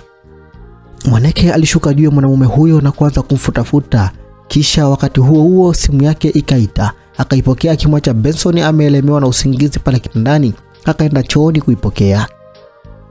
Mwane, vipi, mbona kimya? Umefanikiwa ile zoezi letu? aliulizwa. Nimefanikiwa, hati ninayo hapa na ameshatia saini kama ulivyosema. Safi sana, letee hiyo hati huku sasa hivi. Nipo nje hapa hii hoteli mliokuwa ndani. Mbona saizi? Ungengoja basi baadaye baadaye. Akishtuka, je, unadhani hiyo pesa utapata mwene eh? Nafanya hivi kwa ajili yako ili uwe na maisha mazuri mwane. Lakini mimi Gonde mwenzio naogopa sana, nilitaka Mwane, acha woga, nisikilize mimi, niko hapa nje na kusubiri, njoo faster. Mwanaume huyo alimsisitiza na kukata simu. Mwaneke akashusha pumzi na kutoka chooni taratibu. Alipomtazama Benson alimkuta amelala kitandani akiuchapa usingizi, yupo hoi. Akavaa gauni lake panapana na kutoka taratibu kuelekea nje ya hoteli na karatasi hiyo ya hati ya nyumba. Akamkuta nje ya hoteli mwanaume huyo akimsubiri. Alipomwona mwanaume huyo akamfuata na kumkumbatia. Iko wapi hati? hii hapa. Safi sana mwane. Sasa wewe itabidi urudi kesho na huyu mwanaume ukamzugezuge tu pale, wasijue kinachoendelea wakati mimi nalishughulikia hili swala. Sawa Rudi hotelini asija akagundua haraka haraka. sawa, baadaye. Mwane alimwaga akirejea hotelini mbio mbio, akimwacha mwanamume huyo amesimama akimsindikiza kwa macho. Pole, hakuna utakachopata hapa mwane. Kwenye pesa hakuna mapenzi. Tulipendana kijijini kwa sababu tu sikuwa na kitu, lakini mjini ni kazi tu. Mwanamume huyo aliongea mwenyewe huku akiibusu hati hiyo ya nyumba. Asubuhi na mapema kukiwa kumekucha siku ya pili, yunisi aliamshwa na sauti ya honi ya gari lililokuwa getini akiwa amelala sebuleni usiku mzima. Mbu amemuuma vya kutosha akiwa anamsubiri mumewe Benson arudi ili waulizane kuhusu hati ya nyumba ilipo. Alikurupuka usingizini na kuchungulia dirishani akaliona gari dogo la mwanaume huyo likiingia taratibu ndani ya geti baada ya kufunguliwa na mlinzi. Akatoka haraka haraka kumfuata kwa huko kabla hajaingia ndani. Wakakutana uso kwa uso, yeye mumewe na dada wa kazi, yani house girl Mwaneke. Vipi, fungate lenu limeendaje? Aliwauliza huku akimkata jicho Mwaneke, akitamani kumrukia kichwa mwanadada huyo aliyekuwa nyuma ya Benson, akimfanya kama kinga dhidi ya mkewe huyo mwenye hasira. Fungate limeenda vizuri kabisa kabisa, yani sijui michepuko yako ipo salama. Hayakuhusu. Hata nyumba iko wapi? Wewe ya nini? Naiomba. Siku zote inakaa ndani, kwa nini leo imetoka? Siku zote hujai kuiuliza, kwa nini leo uiulize? Eunice, unataka kuuza nyumba eh? Nani, mimi au wewe? Nani anataka kuuza nyumba kama sio wewe uliyechukua? Naiomba Benson, kabla sijaanzisha timbwili timbwili hapa sasa hizi. Mwaneke, hebu itoe hiyo hati kwenye gari, aioni tu wala asipewe. Benson alimgeukia nyuma. Hati? Hati gani? Ya nyumba. Mbona mimi hati sina? Umeshatia saini na nyumba imeuzwa. Wewe mwenyewe kaka Benson mpenzi. Nimeuza nyumba? Nani? Mimi? Benson alitoa macho. Benson, umeuza nyumba? Mkewe Eunice naye alishtushwa na kauli hiyo, na wakati huo huo wakasikia geti likigongwa. Mlinzi akafungua na ndipo wakaingia watu watatu wakionyeshwa mazingira ya nyumba hiyo. Watu hao walitembea tembea mpaka waliposimama wao, wakawasalimu tu na kuendelea kuelekezana kuhusu nyumba hiyo. Benson na mkewe walibaki wakiwashangaa, hawaelewi kinachoendelea. Mwaneke alitulia tuli akielewa kinachoendelea, akitafuta njia ya kuondoka iwapo mambo yataharibika, maana yeye ndiye aliyefanya yote hayo. Benson akawafuata mbio mbio watu hao pamoja na mkewe nyuma, waliokuwa wanapanda ngazi kuingia ndani. Hey, hey, hey, hey. Samani, mnaingiaje ndani ya mtu bila idhini ya muhusika? Aliwauliza, na watu hao wakatazamana. Samani, nyumba ni ya kwetu, tumeinunua. Muhusika yupi tena? Mmeinunua nyumba? Benson aliuliza huku akicheka. Nyie mmechanganyikiwa au mmepotea nyumba? Mkewe Eunice aliwashangaa. Hatujapotea, hati hapa na dokumenti hizi hapa. Mna jingine la kuuliza? Mmoja alitoa nyaraka za nyumba hiyo na hati akimpa Benson na mkewe ambao walitoa macho baada ya kuiona hati yao ya nyumba na nyaraka hizo halisi za uuzwaji. Benson hakuamini macho yake, akamgeukia Mwaneke kwa hasira. Haiwezekani, nyumba iliyouzwa sio hii. Eunice alikataa katakata, akitikisa kichwa chake kutokubaliana na habari hizo ambazo hazijui, huku mumewe macho yakiwa yamemtoka akimtazama Mwaneke ambaye alikuwa anapiga hatua nyuma nyuma, akijiandaa kuondoka pale lolote litakapotokea. Sisi tuna nyaraka na dokumenti, sijui nyie mna vitu gani? Tafadhali tusitafutiane rawama tu hapa, tuwaitieni polisi. Mnunuzi wa nyumba hiyo aliwatisha. Benson, wewe ndio uliuza nyumba yetu kimya kimya?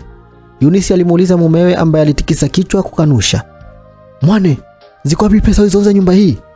Alimuuliza kwa ukali. Mwanake akatikisa kichwa kukataa kuuza nyumba. Mimi nimeuza nyumba saa ngapi na wapi? Na nimeuzaje? Kwani ni ya kwangu hii mpaka niuze? Kwani si ni wewe ndio ulinititisha saini kwenye hiati? Ukasema sijui nini au sio wewe? Lakini wewe si ndio uliuza nyumba ukatia saini kabisa? Pesa ziko wapi? Pesa sina. Mwanake alijibu akigeuka na kuanza kukimbia, lakini Benson hakumwacha. Alimkimbiza huku mkewe nyuma naye akimkimbiza. Wakati anakaribia getini, mlinzi alimuwahi na kumkumbatia kwa nguvu, akimzuia asitoke getini. Unaenda wapi wewe? Leo zamu yangu kukumbatia kidogo. Alicheka. Niache, niache. Mwaneke alimsukuma lakini alishachelewa. Mkono wake ulishikwa na Benson na mkewe. Narudia tena swali langu, ziko wapi pesa ulizouza hii nyumba? Sina pesa mimi. Tumpeleke huyo polisi, atatueleza tu, atataja. Ila na wewe Benson, usizani umesalimika katika hili. Haiwezekani uuze nyumba na uimara wako wa kazi bila kunishirikisha. Wote mtanitambua. Yulisike! Mumewe alimkaripia akiwa amemshika mwanamke huyo kwa asira Hata mkinishika hamwezi kupata pesa kwa sababu sina mimi, zipo kwa mtu. Mtu gani? Au ndio maana ulikuwa unaongea na simu kule chooni kule hotelini eh?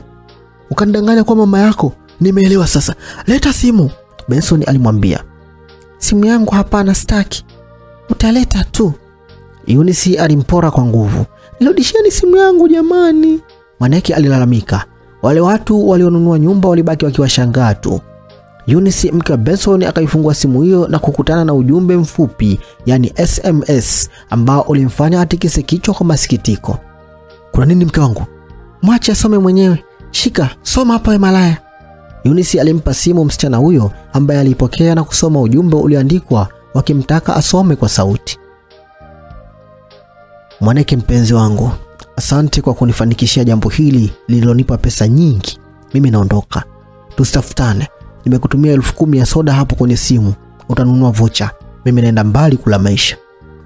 Gonde, haiwezekani Gonde, haiwezekani uondoke na pesa zote, haiwezekani hata kidogo, umenitapeli. Mwanamke alitoa macho akipiga namba na jibu alilopewa ni ndugu mteja, namba unayopiga haipo, tafadhali hakiki namba na upige tena. Alitoa macho baada ya kuingizwa mjini na mwanaume wake huyo wa muda mrefu waliyeshirikiana kuuza nyumba, akiwa haamini macho yake. Utanieleza wapi pesa zilipo? Yunis alimrukia akimwangusha chini mzima mzima, na safari hii Benson naye akaungana na mkewe kumwangushia kipigo mwanadada huyo, akisahau mahaba yote waliokuwa nayo. Wale watu ikabidi wasogee kujaribu kusuruhisha, lakini hawakuweza mpaka walipoita polisi. Mwaneke alipigwa na wanandoa hao wawili mpaka akapoteza fahamu na kukimbizwa hospitalini, huku Benson na mkewe wakipelekwa mahabusu na kulala usiku mzima. Kulikucha mapema asubuhi, wawili hao walitolewa mahabusu kwa dhamana na hatimaye wakarejea tena kwenye nyumba yao, lakini kuomba msaada kwa hifadhi ya siku chache. Bahati nzuri, wenye nyumba hao waliwahurumia na kuwapa upande wa nyumba waendelee kuishi mpaka hapo watakapopata mahali pa kudumu pa kuishi. Benson aliuza gari lake ili kuongeza pesa kwa ajili ya kununua kiwanja, huku watoto wao wakirudi nyumbani kutokana na kukosekana kwa ada. Benson na mkewe ilibidi tu wasameheane. Kila mtu alikiri makosa yake, huku Mwaneke baada ya kuruhusiwa hospitalini alimolazwa siku tatu kutokana na kipigo, alirudi kwao kijijini kuanza upya maisha yake. Naam. Na hii ndiyo mwisho kabisa wa msimu huu wa kwanza wa simulizi tamu kabisa ambayo ni chombezo inayoenda kwa jina la Dada wa Kazi. Ni nini kitakachojili? Je, Benson pamoja na mkewe Eunice watayarudia maisha yao ya zamani? Wataipata nyumba yao tena mikononi mwao? Mimi na wewe hatujui ni nini kitakachotufanya tufahamu. Basi tusikose kufuatilia msimu wa pili wa simulizi hii tamu kabisa inayoenda kwa jina la Dada wa Kazi. Kumbuka mtunzi na mwandishi ni bwana Elia Gwayeje na mimi ni Bros K kutokea hapa Simulizi Mix Entertainment. Tuendelee kuwemo kwa ajili ya simulizi nyingine nyingi zaidi, na msimu huu wa pili utakapotoka, basi utaletwa hapa moja kwa moja lakini nikukumbushe kuwa simulizi hii ni ya kufikirika tu, machache ya kujifunza jifunze, mengine ya kuburudisha na kusisimua tu, usiyatendee kazi. Asante kwa kunisikiliza na kuwa nami kuanzia mwanzo mpaka hapa tulipofikia, na kuomba tena usiniache katika msimu wa pili tutakapoendelea na chombezo hii. Bye bye.